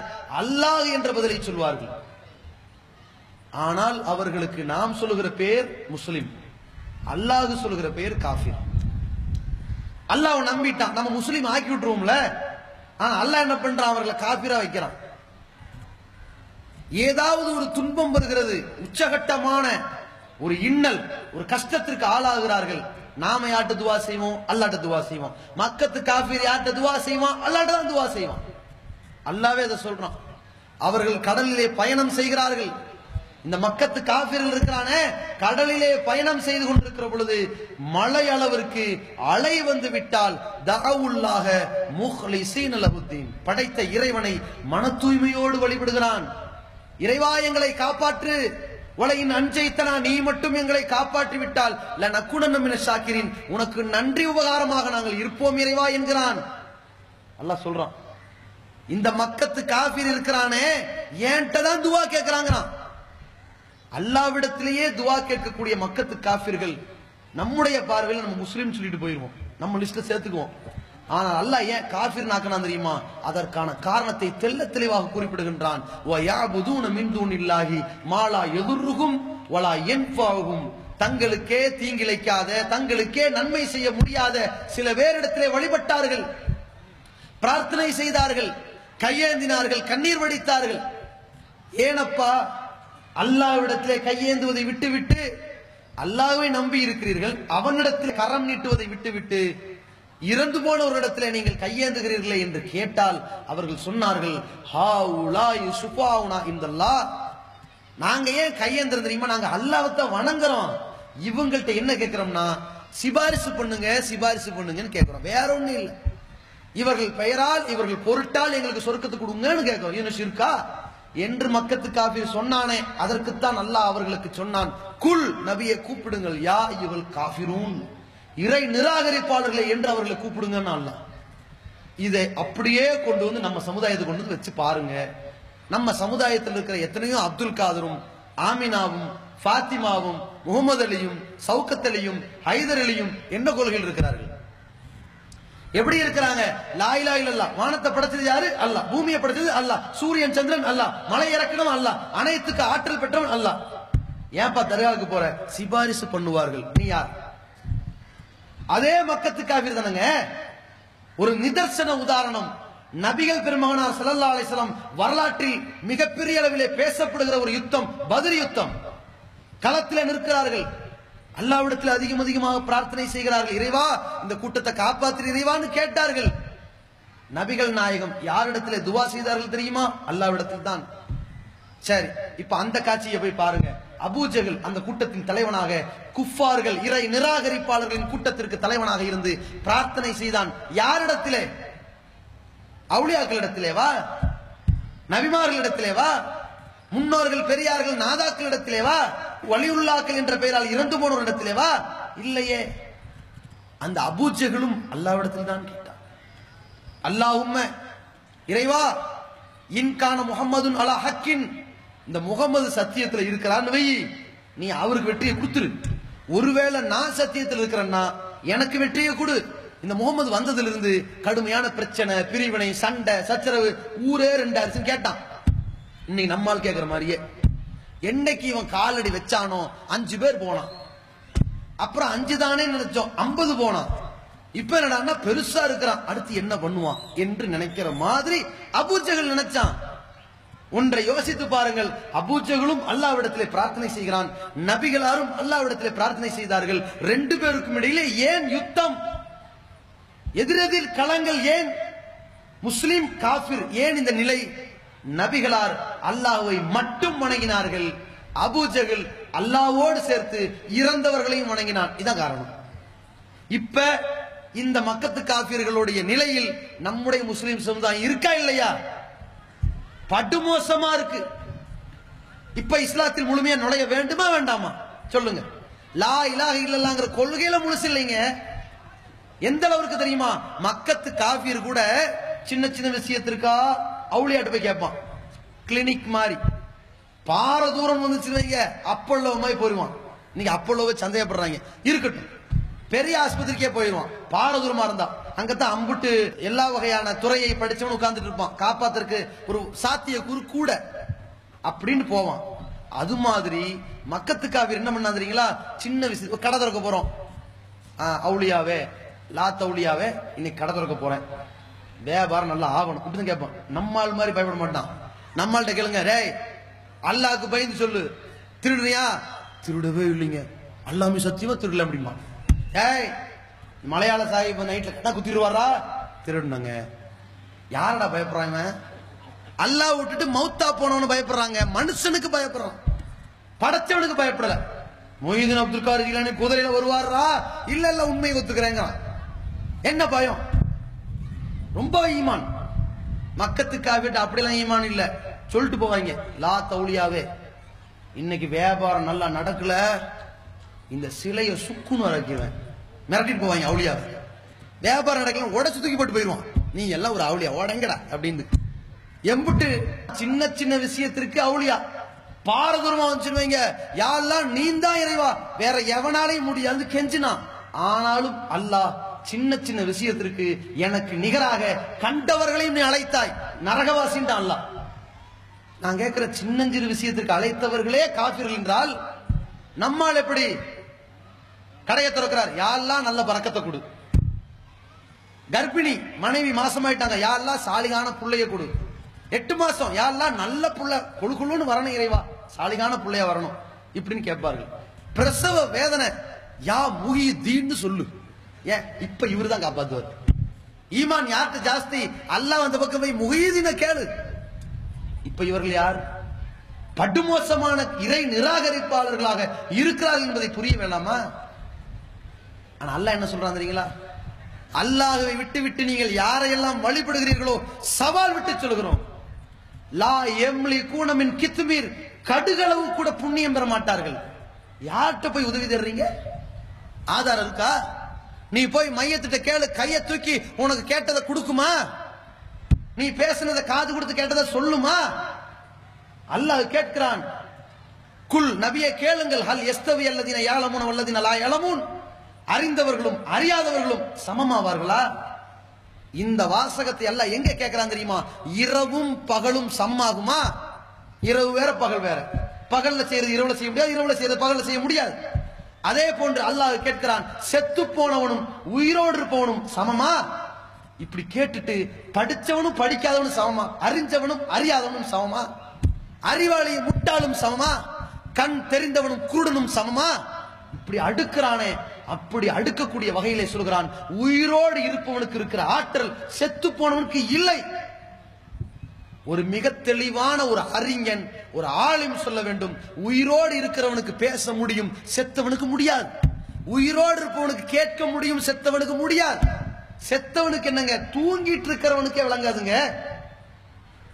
இது கூட தெரியாத நிலையில் முட்டாள்களாக அடிமுட்டாள்தனமாக மக்களிடத்திலே இறந்தவர்களிடத்திலே வழிபாடு நடத்துவதற்கு தர்கா வழிபாடு என்றும் கந்தூரி என்றும் உருசி என்றும் ஊர் தெரு என்றும் கொடிவிளக்கு என்று வருகிறார்களே.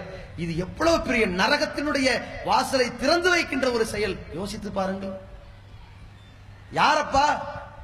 எங்களுக்கெல்லாம் அல்லாவை வணங்கி கையேந்தி கண்ணீர் வெடித்து நற்கூலி பெறுவதற்கு பாக்கியமே இல்லை. நாங்க தொழாத ஆட்கள் நோன்பு வைக்காத ஆட்கள் சரிவர சுத்தம் இல்லாத ஆட்கள் அவரு அப்படி தொழுதாரு இப்படி தொழுதாரு அப்படிப்பட்ட மகான் ஞான மகான் என்றெல்லாம் சொல்லி இறை நிராகரிப்பை இணை வைப்பை இறந்து போனவரிடத்திலே கையேந்துகிற வேலையை செய்கிற கூட்டம் யாரை அவுளியாக்கி வைத்திருக்கிறார்கள் தெரியுமா? யானை அவுளியா? குரங்கு அவுளியா? பன்றி அவுளியா? பீடி மஸ்தான் அவுளியா? அவர் என்ன வாழும் போதெல்லாம் திக்ரு சொல்லிக்கிட்டு இல்ல பீடி அடிச்சுக்கிட்டே இருந்தார். மஸ்தான என்ன மப்புல கிடந்தான். செத்தான் அவுளி ஆக்கி இருக்கான் இறை நேசனா. அல்ல அல்ல அல்லாண்டு கிடந்தவனா. இவன் தான் நமக்கு சொர்க்கத்தை வாங்கி கொடுப்பானா? அவன் அடிச்ச பீடிக்கு எவ்வளவு நரக வேதனைன்னு தெரியாது அவனுக்கு. இவன் வந்து நமக்கு சொர்க்கத்தை வாங்கி கொடுப்பான்? கழுத அவுளியா? எப்படி? பாம்பு அவுளியான்ட்டாங்க. பாம்புக்கு உயிரோடு இருக்கும்போது காது கேட்காதுங்க. எவ்வளவு அறிவுபூர்வமான செத்து போன பாம்பு அவுளியா? அனுமார அவுளியா? எல்லாம் உள்ள பூந்துருச்சு இப்ப. இத நம்புறானே இவர்கள் தான் நம்மை நரகத்திலிருந்து காப்பாற்றுகிற கேடையும் நம்புகிறானே. எவ்வளவு பெரிய இறை நிராகரிப்பு. அல்லாஹ் சொல்லுகிறான் இன்ன ஷிர்கல துலும் நதியும் இறைவனுக்கு இணை கற்பிக்கிறீர்களே. அது மாபாதாக படுபயங்கரமான அநியாயம் என்கிறான். தனக்கு இணை வைக்கப்படுகிற ஒரு பாவம் இருக்கிறதே அந்த பாவத்தை அல்லாஹ் ஒருபோதும் மன்னிக்க மாட்டான். அதற்கு கீழே உள்ள எந்த பாவமா இருந்தாலும் கூட தான் நாடியவர்கள் எல்லாம் மன்னிப்போம். ஆனால் இணை வைத்து விட்டானே ஆனால் அந்த துரோகத்தை மட்டும் மன்னிக்க மாட்டான். ஒரு புருஷனுக்கு பொண்டாட்டி இருக்கிறாளே அவள் எந்த காரியத்தை செய்தாலும் புருஷன் சகித்துக் கொள்வான். கோவப்பட்டாலோ கொந்தளித்தாலோ எடுத்தெறிஞ்சு பேசினாலோ சொல்லுகிற வேலையை செய்யாமல் இருந்தாலோ கட்டுப்படாமல் இருந்தாலோ கூட ஏற்றுக்கொள்வான் சகித்துக் கொள்வான். ஆனால் கணவனை விட்டு துரோகம் செய்வாளையானால் எப்பேற்பட்ட மானம் ஈனம் ரோஷம் உள்ள எந்த ஆம்பளை சகிச்சுக்க மாட்டான். இப்படி வைங்க ஒரு பொம்பளை ஒரு ஆண் இன்னொரு திருமணம் செய்யலாங்க. சூழ்நிலை இருந்தால் அது மாதிரி ஒரு கட்டம் வந்தால் செய்யலாம். இது கட்டளை அல்ல ஒரு அனுமதி அவ்வளவுதான்.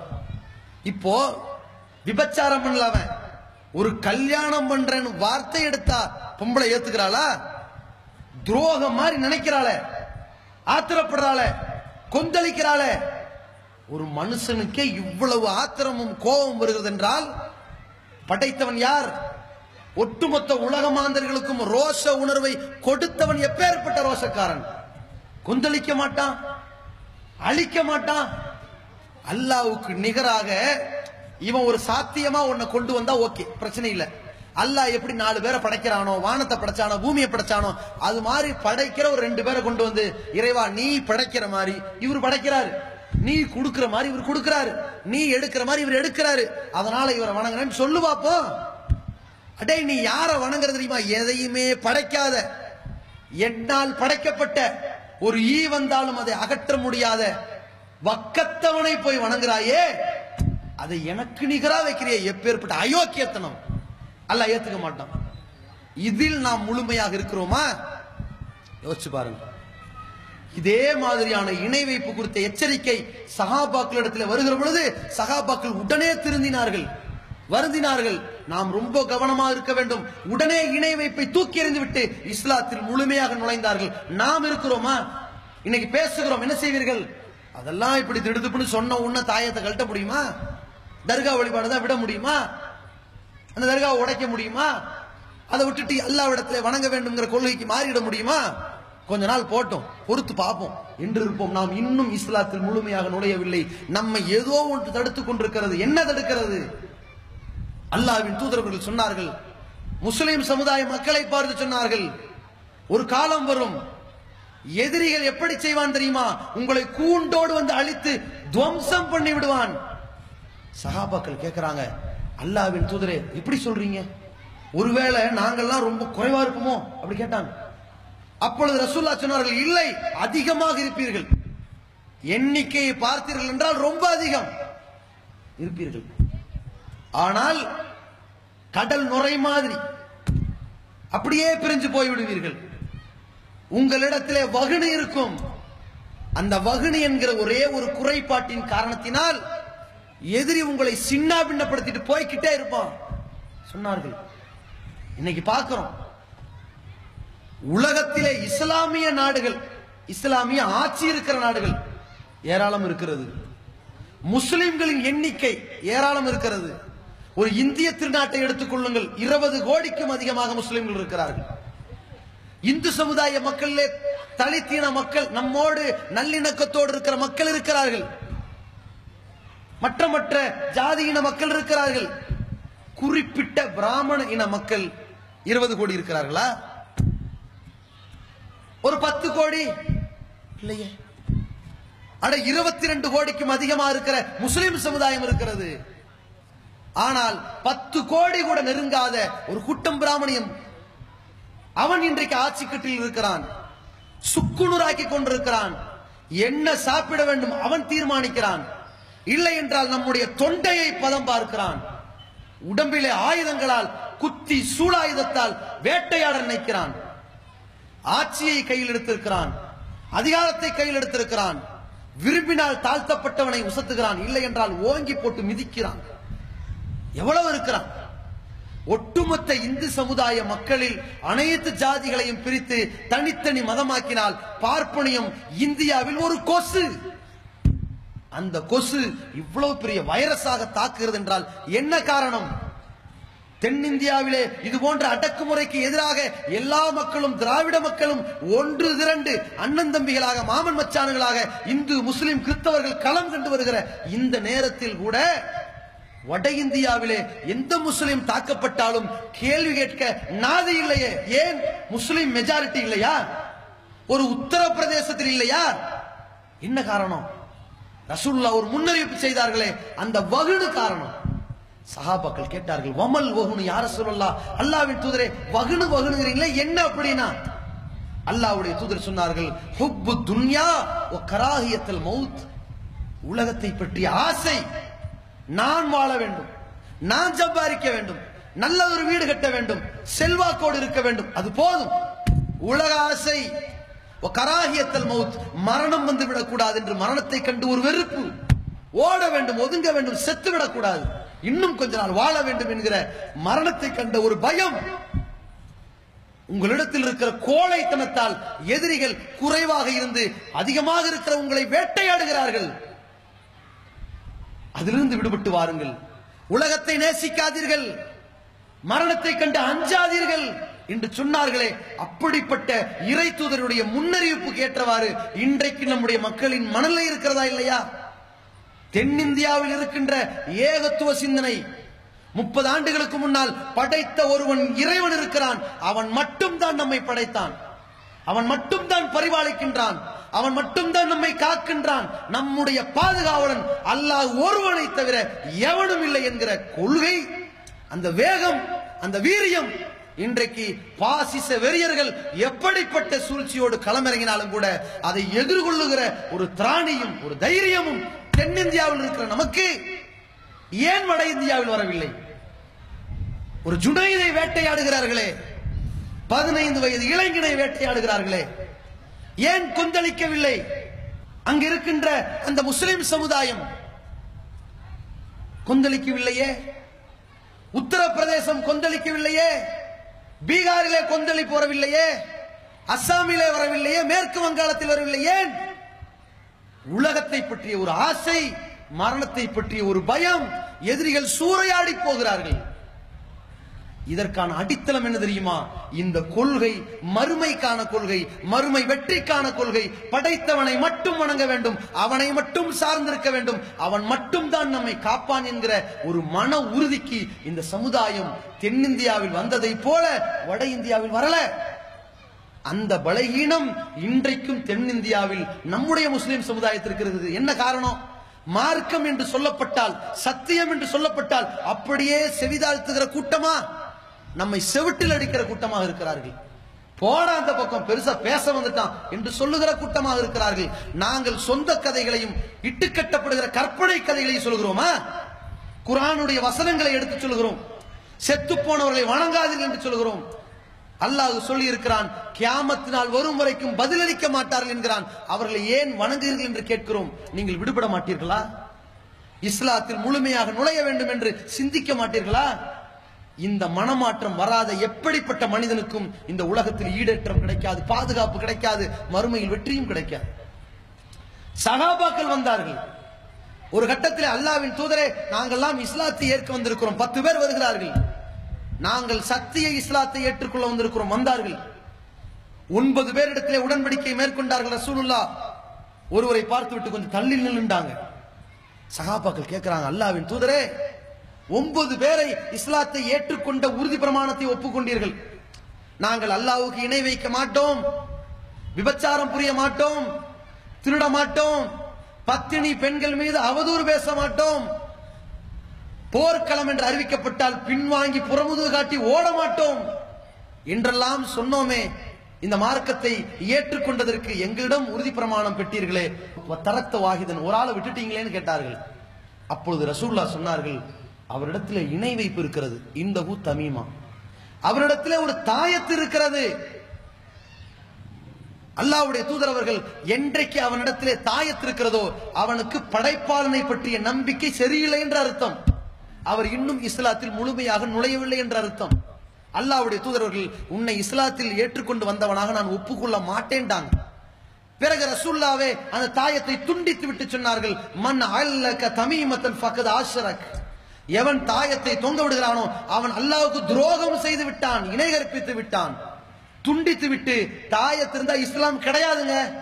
இஸ்லாம் இருந்தா தாயத்தை இருக்க கூடாதுங்க துண்டிச்சுட்டு தான் இஸ்லாத்தை ஏற்றுக்கொண்டார்கள் சொல்லலாம் இப்படி சஹாபி அப்பொழுதே அதை விலகிவிட்டு இஸ்லாத்தில் முழுமையாக தன்னை இணைத்துக் கொண்டார்களே அப்படிப்பட்ட ஈடுபாடு நம்மிடத்தில் இருக்கிறதா? இணை வைப்பை தூக்கி எறிந்து விட்டு ஏகத்துவத்தை நோக்கி ஒரு பயணம் இருக்கிறதா? யோசித்து பாருங்கள். ஒரு கட்டத்துல நபிகள் பெருமகனார் சல்லல்லா அலிசலம் அவர்களிடத்திலே சஹாபாக்கள் வருகிறார்கள். யூதர்கள் கேட்கிறார்கள் அல்லாஹ்வின் தூதரே முகமதே நீங்க வல் காபா அப்படிங்கிறீங்க. காபா மீது சத்தியமாக காபா மீது சத்தியமாங்கிறீங்க. காபா என்பது அல்லாவா? இறைவனா? அல்லாஹ் மீது தானே சத்தியம் செய்யணும். அல்லாஹை விடுத்து யார் மேலேயும் சத்தியம் செய்யக்கூடாது தானே? நீங்க என்னடான்னா காபத்துல்லா மீது சத்தியம்ங்கிறீங்க. அந்த மக்காவில் இருக்கிற இறை இல்லம் காபத்துல்லா அதன் மீது சத்தியம்ங்கிறீங்க. அப்படின்னு கேட்ட உடனே ரசூல்லா உடனே மாற்றுகிறார்கள். அப்படியா? இப்படி சொல்லக்கூடாது. இனிமேல் தெளிவுபடுத்துகிறோம். ஒரு ரப்பில் காபா. காபாவின் இறைவன் மீது சத்தியமாக மாற்றினார்கள். இதுதான் இஸ்லாத்தில் நம்மை முழுமையாக ஈடுபடுத்திக் கொள்வதற்கான அடையாளம். மாற்றினார்கள். தோழர்களே இனிமேல் நீங்கள் காபா மீது சத்தியமாக சொல்லிவிடாதீர்கள். காபாவின் இறைவன் மீது சத்தியமாக என்று சொல்லுங்கள். தோழர்களும் மாற்றிக்கொண்டார்கள் அப்படிப்பட்ட மனமாற்றம் இருந்ததே அதே மனமாற்றம் நம்மிடத்தில் வர வேண்டும் என்பதற்குத்தான் இதை சொல்கிறோம். மார்க்கத்தில் முழுமையாக இணைத்துக் கொள்ளுங்கள். அல்லாஹ்வுடைய தூதரை மட்டும் பின்பற்ற வேண்டும். இதுதான் இஸ்லாத்தின் அடிப்படை. முகமது ரசூல்லா என்ற கொள்கை சொல்லுகிற விளக்கம் என்ன? முகம்மது அல்லாவுடைய தூதர். இந்த மார்க்கம் அல்லாவுக்கு சொந்தம். அலா அறிந்து கொள்ளுங்கள். லில்லாஹி தீனுல் ஹாலிஸ் பரிசுத்தமான மார்க்கம் அல்லாவுக்கு சொந்தம். இந்த மார்க்கம் எப்படி இருக்க வேண்டும்? அல்லாஹ் முடிவெடுப்பான். எப்படி சட்டங்கள் இருக்க வேண்டும்? அல்லாஹ் முடிவெடுப்பான். எப்படி தொழ வேண்டும்? அல்லாஹ் முடிவெடுப்பான். அத்தனை முடிவுகளையும் நபிகளாருக்கு சொல்லிவிட்டு உம யுத்தீர் ரசூல ஃபக்து அத்தா அல்லாஹ். யார் இந்த தூதருக்கு கட்டுப்பட்டு நடக்கிறாரோ அவர் அல்லாஹ் கட்டுப்பட்டு விடர். எனவே இந்த தூதர் சொல்ற மாதிரி நீ நடந்துக்க நம்மளுக்கு பொறுப்பு சாட்டிட்டான்? நாம் என்ன செய்ய வேண்டும்? இந்த தூதர் கட்டுப்பட்டு நடக்க வேண்டும். ஆனால் முகம்மது ரசூல்லா என்ற அர்த்தத்தின்படி இந்த தூதர் கட்டுப்பட்டு தான் தொழுகிறோமா? அல்லாஹ் அக்பர் என்று கைகளை உயர்த்துகிறோமா? எப்படி செய்கிறோம்? நபிகளார் சொன்னது போன்று செய்கிறோமா? இமாம்கள் பெரியார்கள் முன்னோர்கள் என்ற பெயரால் நம் இஷ்டத்திற்கு செய்கிறோமா? நம்முடைய கைகள் எங்கே தக்பீர் கட்டுகிறது? நபிகளார் எப்படி தக்பீர் கட்டி சொன்னார்கள்? ஹதீசுகளை எடுத்து பாருங்களேன். நாங்க அரபி படிச்சிருக்கிறோம். நீங்க படிச்சிருப்பீங்கல்ல? ஆலிமிசாக்கள் படித்திருப்பீர்களே? தொப்புளுக்கு கீழே தான் தக்பீர் கட்ட வேண்டும் என்றால் அந்த ஆதாரத்தையாவது காட்டுங்க.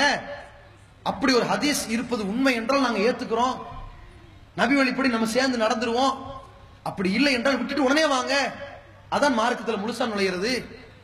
கேட்டால் இமாம் அபு ஹனீஃபா இமாம் ஷாபி ராமத்துல்லா அவர்களை பின்பற்றுகிறோம். அவர்களுக்கு தெரியாதா உங்களுக்கு தெரிந்து விட்டது? பேசுகிறார்கள்.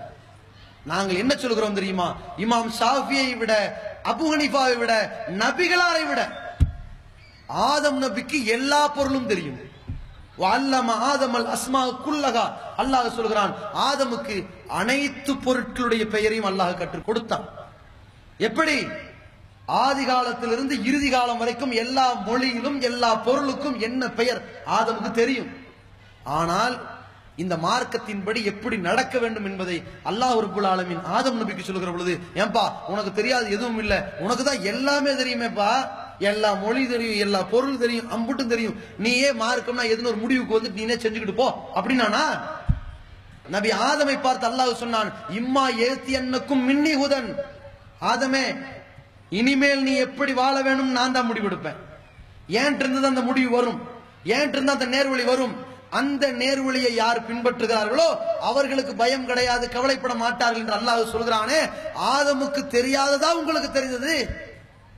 இமாம் ஷாஃபியோ இமாம் அபு இருக்கட்டும் இப்பொழுது திடீரென்று நபிகள் பெருமகனார் அவர்கள் இப்படித்தான் தொழ வேண்டும் என்கிற சொல்லி இருக்கிற நபி வழி வருகிறது. அபுகணிப்பா என்ற பெயரால் ஷாஃபி என்ற பெயரால் நபிகளாருக்கு சம்பந்தம் இல்லாமல் ஒரு கருத்து வருகிறது. எதை பின்பற்ற போகிறீர்கள்? யோசிச்சு பாருங்க. சுன்னத் ஜமாஅத். ஒரே ஒரு சுண்ணத்தை கரெக்டா ஃபாலோ பண்றோம் எல்லாருமே. அதுல யார் சொல்லியும் செய்யலீங்க. நபிகளார் சொன்னாங்க நம்ம செய்யறோம். ஒன்னே ஒன்னு என்ன? ஆண் குழந்தைகளுக்கு விருத்த சேதனம் பண்ணுமே அந்த சுண்ணத்து மட்டும் கரெக்டா செய்யறோம். இமாம் ஷாஃபி சொல்லியிருக்காராங்க? இல்ல.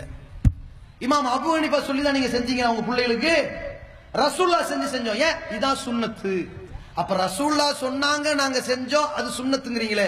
அதே மாதிரி ரசூல்லா சொன்னாங்க நீங்க தொழுங்கன்னு நான் சொல்ல மாட்டீங்க ரசூல்லா சொன்னாங்க அது மாதிரி நோம்புவீங்கன்னு நோம்பிக்க மாட்டீங்க எந்த அளவிற்கு ஒரு மோகம் உண்டாகிவிட்டது என்றால் அல்லாவுடைய மார்க்கமா தலைவர்களா என்றால் தலைவர்களை நோக்கி மார்க்கத்தை திசை திருப்பி கொண்டார்கள். சமுதாயத்திலே முகமது ரசுல்லா என்று சொன்ன கூட்டங்கள் எழுபத்தி மூணு கூட்டமாக பிரிந்ததற்கான அடிப்படை கோளாறு என்ன தெரியுமா? அவர்கள் அத்தனை பேரும் எழுபத்தி ரெண்டு கூட்டமுமே தலைவர்களை பின்பற்றி போனார்கள். ஒரு கூட்டம் இஸ்லாத்தை பின்பற்றி வந்திருக்கிறது. என்ன? சியாக்காரன் ஒருத்தர் இருக்கான்ல அவன் என்ன பண்ணா? அல்லாவுடைய மார்க்கத்தை பின்பற்றான்னு கேட்டா அவரை பின்பற்றல. மார்க்கத்தை பின்பற்றல. ரசூல்லாவை பின்பற்றல. ரசூல்லா கொண்டு வந்த சத்தியத்தை பின்பற்றல. எதை பின்பற்றினா? அழிதான் எங்களுக்கு கடவுள்னு பின்பற்றிட்டு போனான். போச்சா வழிகேடா? அடுத்து ஒருத்தவன் தான் காதியானிண்டு மார்க்கத்தை பின்பற்றா பின்பற்றல. யாரா பின்பற்ற? மிர்சா குலாம் முகமது இருக்கார். அவர்தான் எங்களுக்கு எல்லாம். போயிட்டான் அவன் பக்கம். தரிக்கா வந்தான் சாதுலியா தரிக்கா காதிரியா தரிக்கா நக்ஷபந்தியா தரிக்கா ஜெயின்லாதின் தரிக்கா. தரிக்கா அப்படி. சுகர்வரதியா தரிக்கா. ஏகப்பட்ட தரிக்கா இருக்குது. அந்த தரிக்கா பின்னாடி போனவன் யார் பின்னாடி போனான் அவர்களிடத்துல பையத்து யாருக்கு செஞ்சானோ? அந்த தலைவன் பின்னாடி போயிட்டான். அங்க ஒரு வழியேடு தபிலீகண்டு போனான் யார் பின்னாடி போனார்கள்? அந்த மௌலானா இந்த ரகமத்துல்லா இலையை அந்த ரகமத்துல்லா இலையை போயிட்டாங்க. இஸ்லாம் என்ன சொன்னது? வேண்டாம். எனக்கு அந்த ரஹமத்துல்லா எழுதின அமல்களின் சிறப்பு. பின்னாடி போனார்கள். மதுகபுகள் என்று போனவர்கள் யார் பின்னால் போனார்கள்? அல்லாவுடைய மார்க்கம் என்ன சொன்னது? எனக்கு இமாம் ஷாஃபி சொன்னதுதான் மார்க்கம். பெருநாள் தொழுகை வரும். நாமும் பெருநாள் தொழுகை நடத்துவோம். நபிகள் பெருமகனார் சல்லல்லா அலிஸ்லாம் அவர்கள் முதல் ரக்காத்திலே ஏழு முறை அல்லாஹ் என்றார்கள். இரண்டாவது ரக்காத்திலே ஐந்து முறை அல்லாஹ் என்றார்கள். இது நபி வழி என்போம். இதே மதுகபுவாதிகள் பெருநாள் தொழில் அறிவிப்பார்கள். இந்த கூட்டத்திலே இரண்டு சமுதாயமும் கலந்திருக்கிறது. அத்தா கூட்டத்துக்காரர்கள் மூணு பிளஸ் மூணு சொல்லிக் கொள்ளுங்கள். வாப்பா கூட்டத்துக்காரர்கள் ஏழு அஞ்சு சொல்லிக் கொள்ளுங்கள். அப்ப நபிகளாரின் கூட்டத்துக்காரர்கள் தனியாக பெருநாள் தொழுகை நடத்தி கொள்ளுங்கள். போச்சா? என்ன இஸ்லாத்தில் நுழைஞ்சிட்டோம்? எப்படிப்பட்ட மோகம் தெரியுமா? குரானில் ஒரு விஷயம் இருந்தாலும் நீ சொல்லக்கூடாது. அதை எங்க இமாம்கள் சொல்லட்டும் அப்ப பின்பற்றோம். அப்படின்னா யார் மேல மோகம்? வரலாமா இப்படி? குரான்ல ஒரு சட்டம் இருக்கிறது. அந்த சட்டத்தை எங்க இமாம் செய்ய வேணாண்டார்னா செய்ய முடியாதுங்க. குரான்ல இருந்தாலும் சரி. குரான்ல ஒரு சட்டம் கண்டிக்கப்படுகிறது செய்யக்கூடாதுன்னு. எங்க இமாம் செய்ய சொல்லிட்டா குரானே சொல்லி இருந்தால் நான் அந்த இமாம் படிதான் கேட்பேன். இப்படி இருக்கிறார்கள். ஒரு உதாரணம் ஒரு சாம்பிள் பாருங்க. வெள்ளிக்கிழமை ஜும்மாவிற்கு ரெண்டு பாங்கு சொல்றாங்கல்ல. எந்த ஹதீஸ்லாவது இருக்கா? குரான்லயாவது ரெண்டு முறை பாங்கு சொல்லப்படுறது இருக்கா? அல்லது நபிகள் பெருமகனார் ஸல்லல்லாஹு அலைஹி இருபத்தி மூன்று ஆண்டு காலம் ஜும்மாவுக்கு ரெண்டு பாங்கு சொன்னார்களா? இல்ல. குரான் ஹதீஸ்ல இல்லாவிட்டாலும் எங்களுக்கு இமாம்கள் சொல்லி இருக்கிறார்கள் நாங்க ரெண்டு சொல்லுவோம். மார்க்கத்தின் அத்தாரிட்டி யார்? யோசிக்கிறீங்களா? தெரியுதா? அப்ப நம்ம என்ன முழுமையா நுழைஞ்சிட்டோம்? இப்ப இன்னொன்னு பாருங்க. ரமலானுடைய காலத்துல ரசூல்லாய் சல்லா அலிஸ்லாம் ரெண்டு பாங்கு சொன்னார்கள். சுபுகுக்கு என்று வளமையான ஒரு பாங்கு. அதுல அசலாத்து ஹைரும் ஒன்று வரும். அதுக்கு முன்னாடி சகர் நேரம் வந்து விட்டது. எல்லாரும் எந்திரிச்சு சாப்பிடுங்கன்னு சொல்லி உணர்த்துவதற்காக ஒரு பாங்கு. அது சகர் பாங்கு. இன்னைக்கு நாம நபி வழிப்படி சொல்ல சொல்றோம். இதுல போய் பின்பற்றுபவர்கள் இந்த சுண்ணத்தை ஏன் விட்டார்கள்? ஹதீஸ்ல இருக்கட்டுங்க ரசூல்லா சொல்லி இருக்கட்டுங்க நபிகளார் இருபத்தி மூணு ஆண்டு காலத்துல அந்த நோன்பு கடமையாக்கப்பட்ட காலத்துல இருந்து அமல் செய்யட்டுங்க. எங்க இமாம் சொல்லலைங்க. அதனால இது மார்க்கம் இல்லை. இவர்கள் எதில் இருக்கிறார்கள்? யோசித்து பாருங்க. அதை சொல்லுகிறோம். நீங்கள் ஆய்வு செய்யுங்கள். குரான் அதிசை பாருங்கள். இந்த ரெண்டுங்க ரொம்ப வேண்டாம். நபிகள் நாயகம் செல்லல்லா அலைஹி வஸல்லம் சஹருக்கு பாங்கு சொன்னார்கள். சொல்ல ஆள் நியமித்தார்கள். நீங்கள் ஏன் விட்டீர்கள்? நபி ஒளியில் இருந்து ஏன் இந்த வழியை கைவிட்டீர்கள்? உண்மையிலேயே நபி ஒளிக்கு பயந்தவர்களாக கட்டுப்பட்டவர்களாக இருந்தால் அதை செய்யணுமா இல்லையா? இல்லை என்றால் ஒரு குறை இருக்கிறது. மகரிபுடைய தொழுகைக்கு முன்னால் இரண்டு ரக்காது சுன்னத் இருக்கிறது. அல்லாவுடைய தூதர் சொன்னார்கள் சல்லு கபுல் மகரிபி இன்ஷியத்தும் நீங்கள் விரும்பினால் மகரிபுக்கு முன்னால் ரெண்டு ரக்கா தொழுங்கள். சொன்னார்களே நீங்கள் என்ன செய்கிறீர்கள்? தொழ முடியாதவாறு வாங்க சொல்லிவிட்டு உடன் இக்காமத்தை சொல்கிறீர்களே இடைவெளி கொடுக்காமல் அந்த சுண்ணத்தை பறித்திருக்கிறீர்களே இது எப்படிப்பட்ட அநியாயம்? அல்லாஹ்வுடைய மார்க்கத்தில் உங்களுடைய சொந்த கருத்தை திணிப்பீர்களா?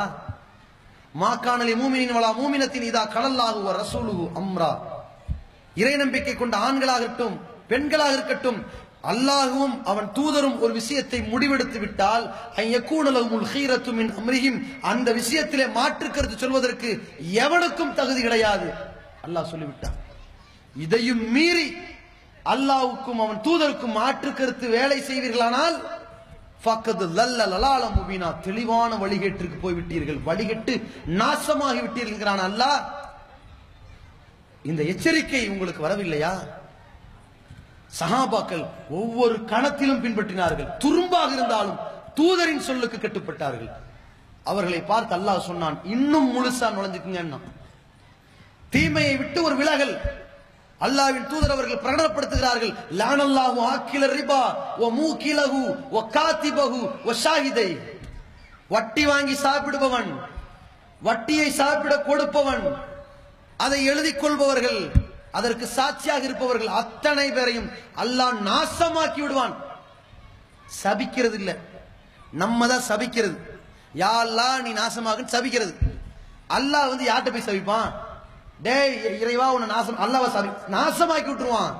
சபிக்க மாட்டான் நாசமாக்கிடுவான் யார? வட்டி வாங்கி திங்கிறானே. அவனை. ரசுல்லா பிரகடனப்படுத்துகிறார்கள் மக்களே நான் வட்டியை தடை செய்கிறேன். என்னிடமிருந்து ஆரம்பிக்கிறேன். ரசுல்லாவுடைய பியூட்டி என்ன தெரியுமா? எந்த நல்லது சொன்னாலும் ஏன்றிருந்து வருங்க? எந்த தீமையை விட்டு எதிர்த்தாலும் அது ஏன்றிருந்து தொடங்கும்?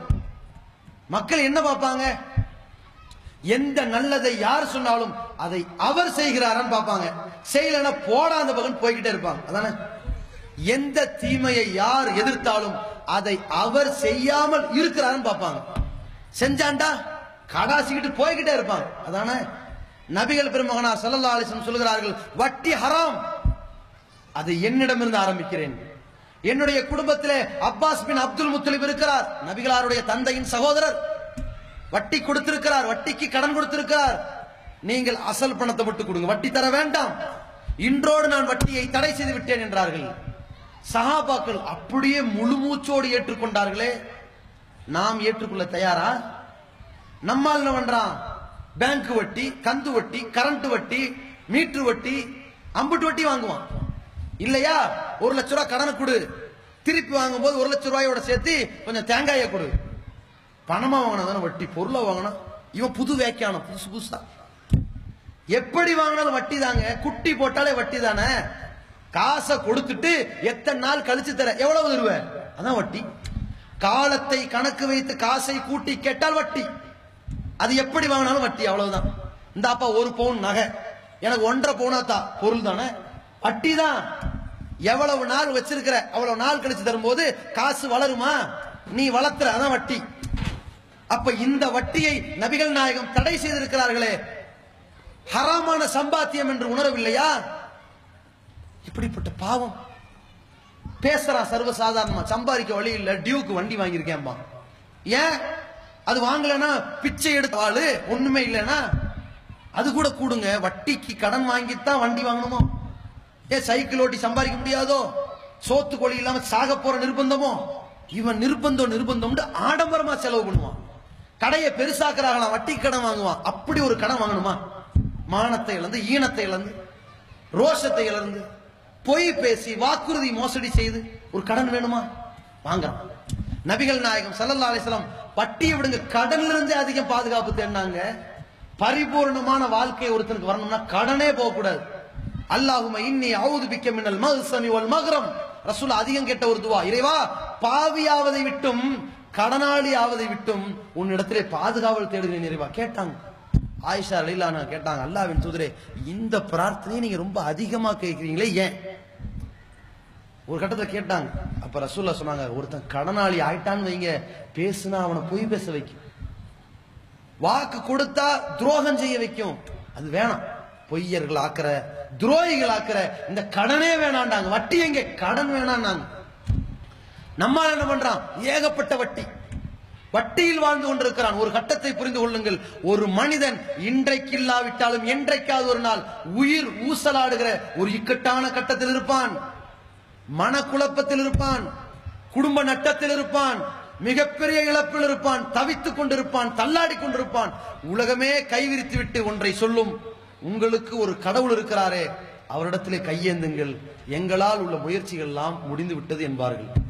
அப்பொழுது இறைவா என்னை காப்பாற்று என்று கேட்டால் அந்த பிரார்த்தனை ஏற்றுக்கொள்ளப்படுமா? ரசூலுல்லாஹி ஸல்லல்லாஹு அலைஹி அழகாக சொன்னார்கள் ஒருவன் கையேந்தி ஐ ரப்பி ஐ ரப்பி கேட்கிறான். இறைவா இறைவா நீதான் என்ன காப்பாத்தினவன் கேட்கிறான். உடனே ரசூலா சொன்னார்கள் இன்ன மஸ்ரபு ஹராம். அவன் குடிச்ச தண்ணி ஹராம்ல சம்பாரிச்சது. ஒமாக்களவு ஹராம். அவன் தின்ன சோறு ஹராம்ல சம்பாரிச்சது. உன் மல்பசோ ஹராம். அவன் போட்டிருக்கிற ட்ரெஸ் ஹராம்ல சம்பாரிச்சது. ஓ குதிய வீவில் ஹராம். காலையில இருந்து வந்திருக்கான அம்புட்டு ஹராம். அண்ணா யுஸ்தஜாவிலை பிறகு எப்படி அவன் துவா ஏற்றுக்கொள்ளப்படும்? துவாவே கபுலாவாதுங்க. யோசிச்சு பாருங்க. நாம ஒரு வீட்டில் வாழ்ந்து கொண்டிருக்கிறோம். வாடகைக்கு வீடு இருப்பது ஓகே. இவன் என்ன பண்றான்? போகியம் ஒத்தி வட்டி இது அடகு. எத்தனையோ பேர் இருக்குல்ல அடமானம். இருக்குல்ல? பத்து லட்சம் ரூபா கொடுத்து வாங்கி வாங்கலாம் வீட்டை. வாடகையே கொடுக்க மாட்டாங்களாம். போகும்போது பத்து லட்ச ரூபா வாங்கிட்டு போயிருவாங்களாம். அந்த ரெண்டு வருஷ காலம் ஒரு ஐயாயிரம் ரூபாய் வை. ரெண்டு வருஷம் ஒரு லட்சத்தி இருபதாயிரம் ரூபாய் வந்திருக்கே. அது மிச்சமா இருக்குது அது வட்டி இல்ல. வியாக்கியானம். சில பேர் என்ன பண்றான்? சச்ச நான் கரெக்டா வாடகை கொடுத்துறேன். எவ்வளவு ரூபாய் வாடகை கொடுக்குறேன் ஐம்பது ரூபா கரெக்டா வாடகை கொடுத்துருவேன். யாரை ஏமாத்துறது? அல்லாவை ஏமாத்த முடியுமா? இன்னஹு அலீமும் பிதாத்தி சுதூர். உள்ளத்தில் ஒட்டி கொண்டிருப்பது என்ன? அல்லாஹ்க்கு தெரியும். நல்ல ஒரு அடியார் லுக்மான். மகனுக்கு சொல்கிறார் மகனே நீ அல்லாஹ்வுக்கு இணை வைக்காத துரோகம் பண்ணிராத. அது பெரிய அநியாயம். தொழுகையை நிலைநாட்டு பணிவா நட. இப்படினே சொல்லிக்கிட்டு வர லுக்குமான் அவர்கள் ஒரு கட்டத்தில் பேசுறார். மகனே ஒரு விஷயத்தை புரிஞ்சுக்க. இன்னஹா இன் தகு மிஸ்காலு ஹப்பத்து ஹர்தலிம். ஒரு அணு ஒரு பொருள். அது வானத்தில் இருந்தாலும் பூமியில் இருந்தாலும் ஒரு பாறைக்கு உள்ளே இருந்தாலும் ஏத்திபிகள்ல அல்லாஹ் தூக்கிட்டு வந்து போட்டு அம்பலப்படுத்திடுவான். அல்லாஹ் பயந்துக்கன்னார் அப்படிப்பட்ட இறைவனை ஏமாற்ற பார்க்கிறீர்களா? யாரிடத்தில் விதண்டாவாதம் பேசுவீர்கள்? இதெல்லாம் வட்டி இல்ல அதெல்லாம் வட்டி இல்ல. பேங்க்ல போய் சேர்ந்திருக்கும் காசு. திரும்பி வரும்போது வட்டியோட சேர்ந்து வரும். கேட்டா அது பள்ளிவாசல கக்கூஸ் கட்டுறது கொடுத்துடலாம். இவங்களே ஒரு பத்துவா. பள்ளிவாசல ஒரு பள்ளிவாசல கணக்கில் இருந்தாங்க. எப்படி? இந்த மாதிரி இமாமுக்கு சம்பளம் கொடுத்தது இவ்வளவு. சந்தா காசு வரவு இவ்வளவு நோம்பு கஞ்சி காசு வரவு வரவு இவ்வளவு பேங்க் மூலம் கிடைத்த வருமானம் இவ்வளவு. இதனடா பேங்க்ல ஒரு வருமானம்? இவங்களுக்கு எப்ப பள்ளிவாசல் முத்தவள்ளி எப்ப பேங்க்ல சேர்த்தாங்க? என்னடா பேங்க்னா பள்ளிவாசல் காசையெல்லாம் கொண்டு போய் பேங்க்ல வச்சிருந்தாங்கல்ல அதுல கிடைச்ச வட்டியை வட்டின்னு எழுதுனா புடிச்சிருவாங்க. வருமானம் எழுதிருக்காங்க. யாரை ஏமாத்துறீங்க? பள்ளிவாசல்ல. எவ்வளவு தைரியம். அதை ஊரெல்லாம் பேஸ்புக்ல எப்படி கணக்குல கரெக்டா இருக்கு கணக்குல கரெக்டா இருக்கிறடா. ஒரு சாராய கடைக்காரன் கூட கணக்குல கரெக்டா இருப்பான். அதனால அது ஹலாலா? அட வட்டி வாங்கி இருக்கிறது எப்படி ஏற்றுக்கொள்ளப்படும்? இவர்களே தீர்மானம். கக்கூஸ் கட்டுறதுக்கு யூஸ் பண்ணிக்கலாம். ஏன் அது அத்தியாவசியம் இல்லையா? ரொம்ப முக்கியமான போர் இடம் இல்லையா அது? இந்த பொருள் பலருடைய ரத்தத்தை வேர்வையாக கிடைத்த காசு. அது எதுக்கு நமக்கு? நமக்கு சம்பந்தம் இல்லாத காசு எதுக்குன்னு யோசிக்க வேணாம். அந்த வட்டியிலிருந்து விடுபட வேண்டும். அந்த விடுபட்டவர்களாக சகாபாக்கள் மாறினார்கள். வட்டிக்கு கடன் கொடுத்து விட்டு மாறினார்கள். வேணாம்பா நான் அல்லாவை அஞ்சியவன் அசல மட்டும் கொடும் என்றார்கள். அதே போன்ற ஒரு ஈடுபாடு நம்ம எடுத்து வர வேண்டும். இன்றைக்கு இளைஞர் சமுதாயம் ஒரு பக்கத்திலே வழிகேட்டில் விளிம்பில இருக்கிறார்கள். காரணம் என்ன? குடிகாரர்களாக. மதுவுக்கு அடிமையானவர்களாக. ஒரு குடிகாரன் சுயமரியாதை இழக்கிறான். உடல் ஆரோக்கியத்தை இழக்கிறான். கண்ணியத்தை இழக்கிறான். பொருளாதாரத்தை இழக்கின்றான். தன்னுடைய மனைவியை நல்ல முறையிலே வாழ வைக்க வேண்டுமே அந்த கற்பு உடையவனாக இருந்த ஆண்மையை இழக்கிறான். அத்தனையும் இழந்து நிற்கதியாக்குகிற குடியிலே மூழ்கி இருக்கிற கூட்டத்தை பார்க்கிறோம். போத. நபிகள் பெருமகனார் சல்லா அலிஸ்லாம் அவர்கள் சொன்னார்கள் லாயது குழுல் ஜென்னா சொர்க்கத்தில் சில பேர் நுழையவே மாட்டார்கள். யார்? ஆக்குன்லி வாலிதை. பெற்றோருக்கு துன்பம் விளைவிக்கிறானே சொர்க்கத்தில் நுழைய மாட்டான். முதுமினுல் ஹம்ர் குடிகாரன் குடிக்க அடிமையானவன் சொர்க்கத்தில் நுழைய மாட்டான். நம்மள்ட்ட சொல்லி பாருங்க. நாளையில இருந்து குளிக்க மாட்டேன்பா. அப்புறம் போய் குடிச்சிட்டு வருவான். ஒரு மாற்றம் ஒரு திருத்தம் அப்பொழுதே வர வேண்டும். வந்திருக்கிறதா? அப்படி வந்தால்தான் இஸ்லாத்தில் உடனே முழுமையாக நுழைந்திருக்கிறான். சைத்தானுடைய அடிச்சுவடை தூக்கி எறிந்து வந்திருக்கிறான் என்று பொருள். இதை சஹாபாக்கள் செய்தார்கள். சஹாபாக்கள் எப்படி வாழ்ந்தார்கள்? வீட்டு வாசலிலே ஒரு கண்டெய்னர் கண்டெய்னர் அளவுல வைத்திருப்பார்கள். திராட்சை ரசம் மதுதான். பேரிச்சம்பளத்தை பல நாள் ஊற வைத்து மதுதான் வைத்திருந்தார்கள். கோதுமையில் கிடைத்திருக்கிற ஒரு உணவை பல நாள் ஊற வைத்து மதுவாக வைத்திருந்தார்கள். அல்லாஹ் சொல்லிவிட்டான் இன்னமல் ஹம்ருவல் வல் அன்சாபுவல் அஸ்லாமு ரிஜிசுமின் அமலி ஷைத்தான். மது இருக்கிறதே சூதாட்டம் இருக்கிறதே ஷைத்தானுடைய அருவருக்கத்தக்க காரியம். பஜித்தனிபு விலகி ஓடிவிடுங்கள். அதை விட்டு விலகி வந்து விடுங்கள். அல்லாஹ் கூப்பிட்டு விட்டான். சஹாபாக்கள் உடனே அறிவித்தார்கள். இன்னல் ஹம்ர கது ஹுரிமத். மது தடை செய்யப்பட்டு விட்டது. தூக்கி கொட்டுங்கள் அப்படின்றார்கள். அனசலியல்லானவர்கள் சொல்கிறார்கள் மதினத்து வீதிகளிலே ஆறுகள் போன்று அத்தனை மது கோப்பைகளும் கூட்டம் கூட்டமாக குவியல் குவியலாக அப்படியே வழிந்து ஓடியதை பார்த்தேன் என்றார்கள். உடனே மனமாற்றம். அதுதான் சகாபாக்கள். சொர்க்கத்தை நோக்கி நரகத்தை விட்டு தன்னுடைய மன இச்சையை தூக்கி எறிந்து விட்டு படைத்தவனுக்காக மன தூய்மையோடு வருகிற ஒரு பாதை அந்த முழுமையான ஈடுபாடு அதான் சகாபாக்கள். மன கட்டுப்பாடு அப்படிப்பட்ட நபித்தோழர்கள். அந்த இரையச்சம் வாய்ந்த அந்த நபித்தோழர்கள் எப்படி முழுமையாக தன்னை இந்த இஸ்லாத்தில் இணைத்துக் கொண்டார்களோ அதே போன்று நீங்களும் இந்த சத்திய இஸ்லாத்தில் முழுமையாக உங்களை இணைத்துக் கொள்ள வேண்டும். நாங்களும் இணைத்துக் கொள்ள வேண்டும். எங்களிடம் குறைகள் இருந்தால் நீங்கள் எங்களை சுட்டி காட்டுங்கள். வாகிருதவானா? அலமதுல்லா ரபில் ஆலமி அஸ்லாம் வலைக்கும் வரமத்துல Allah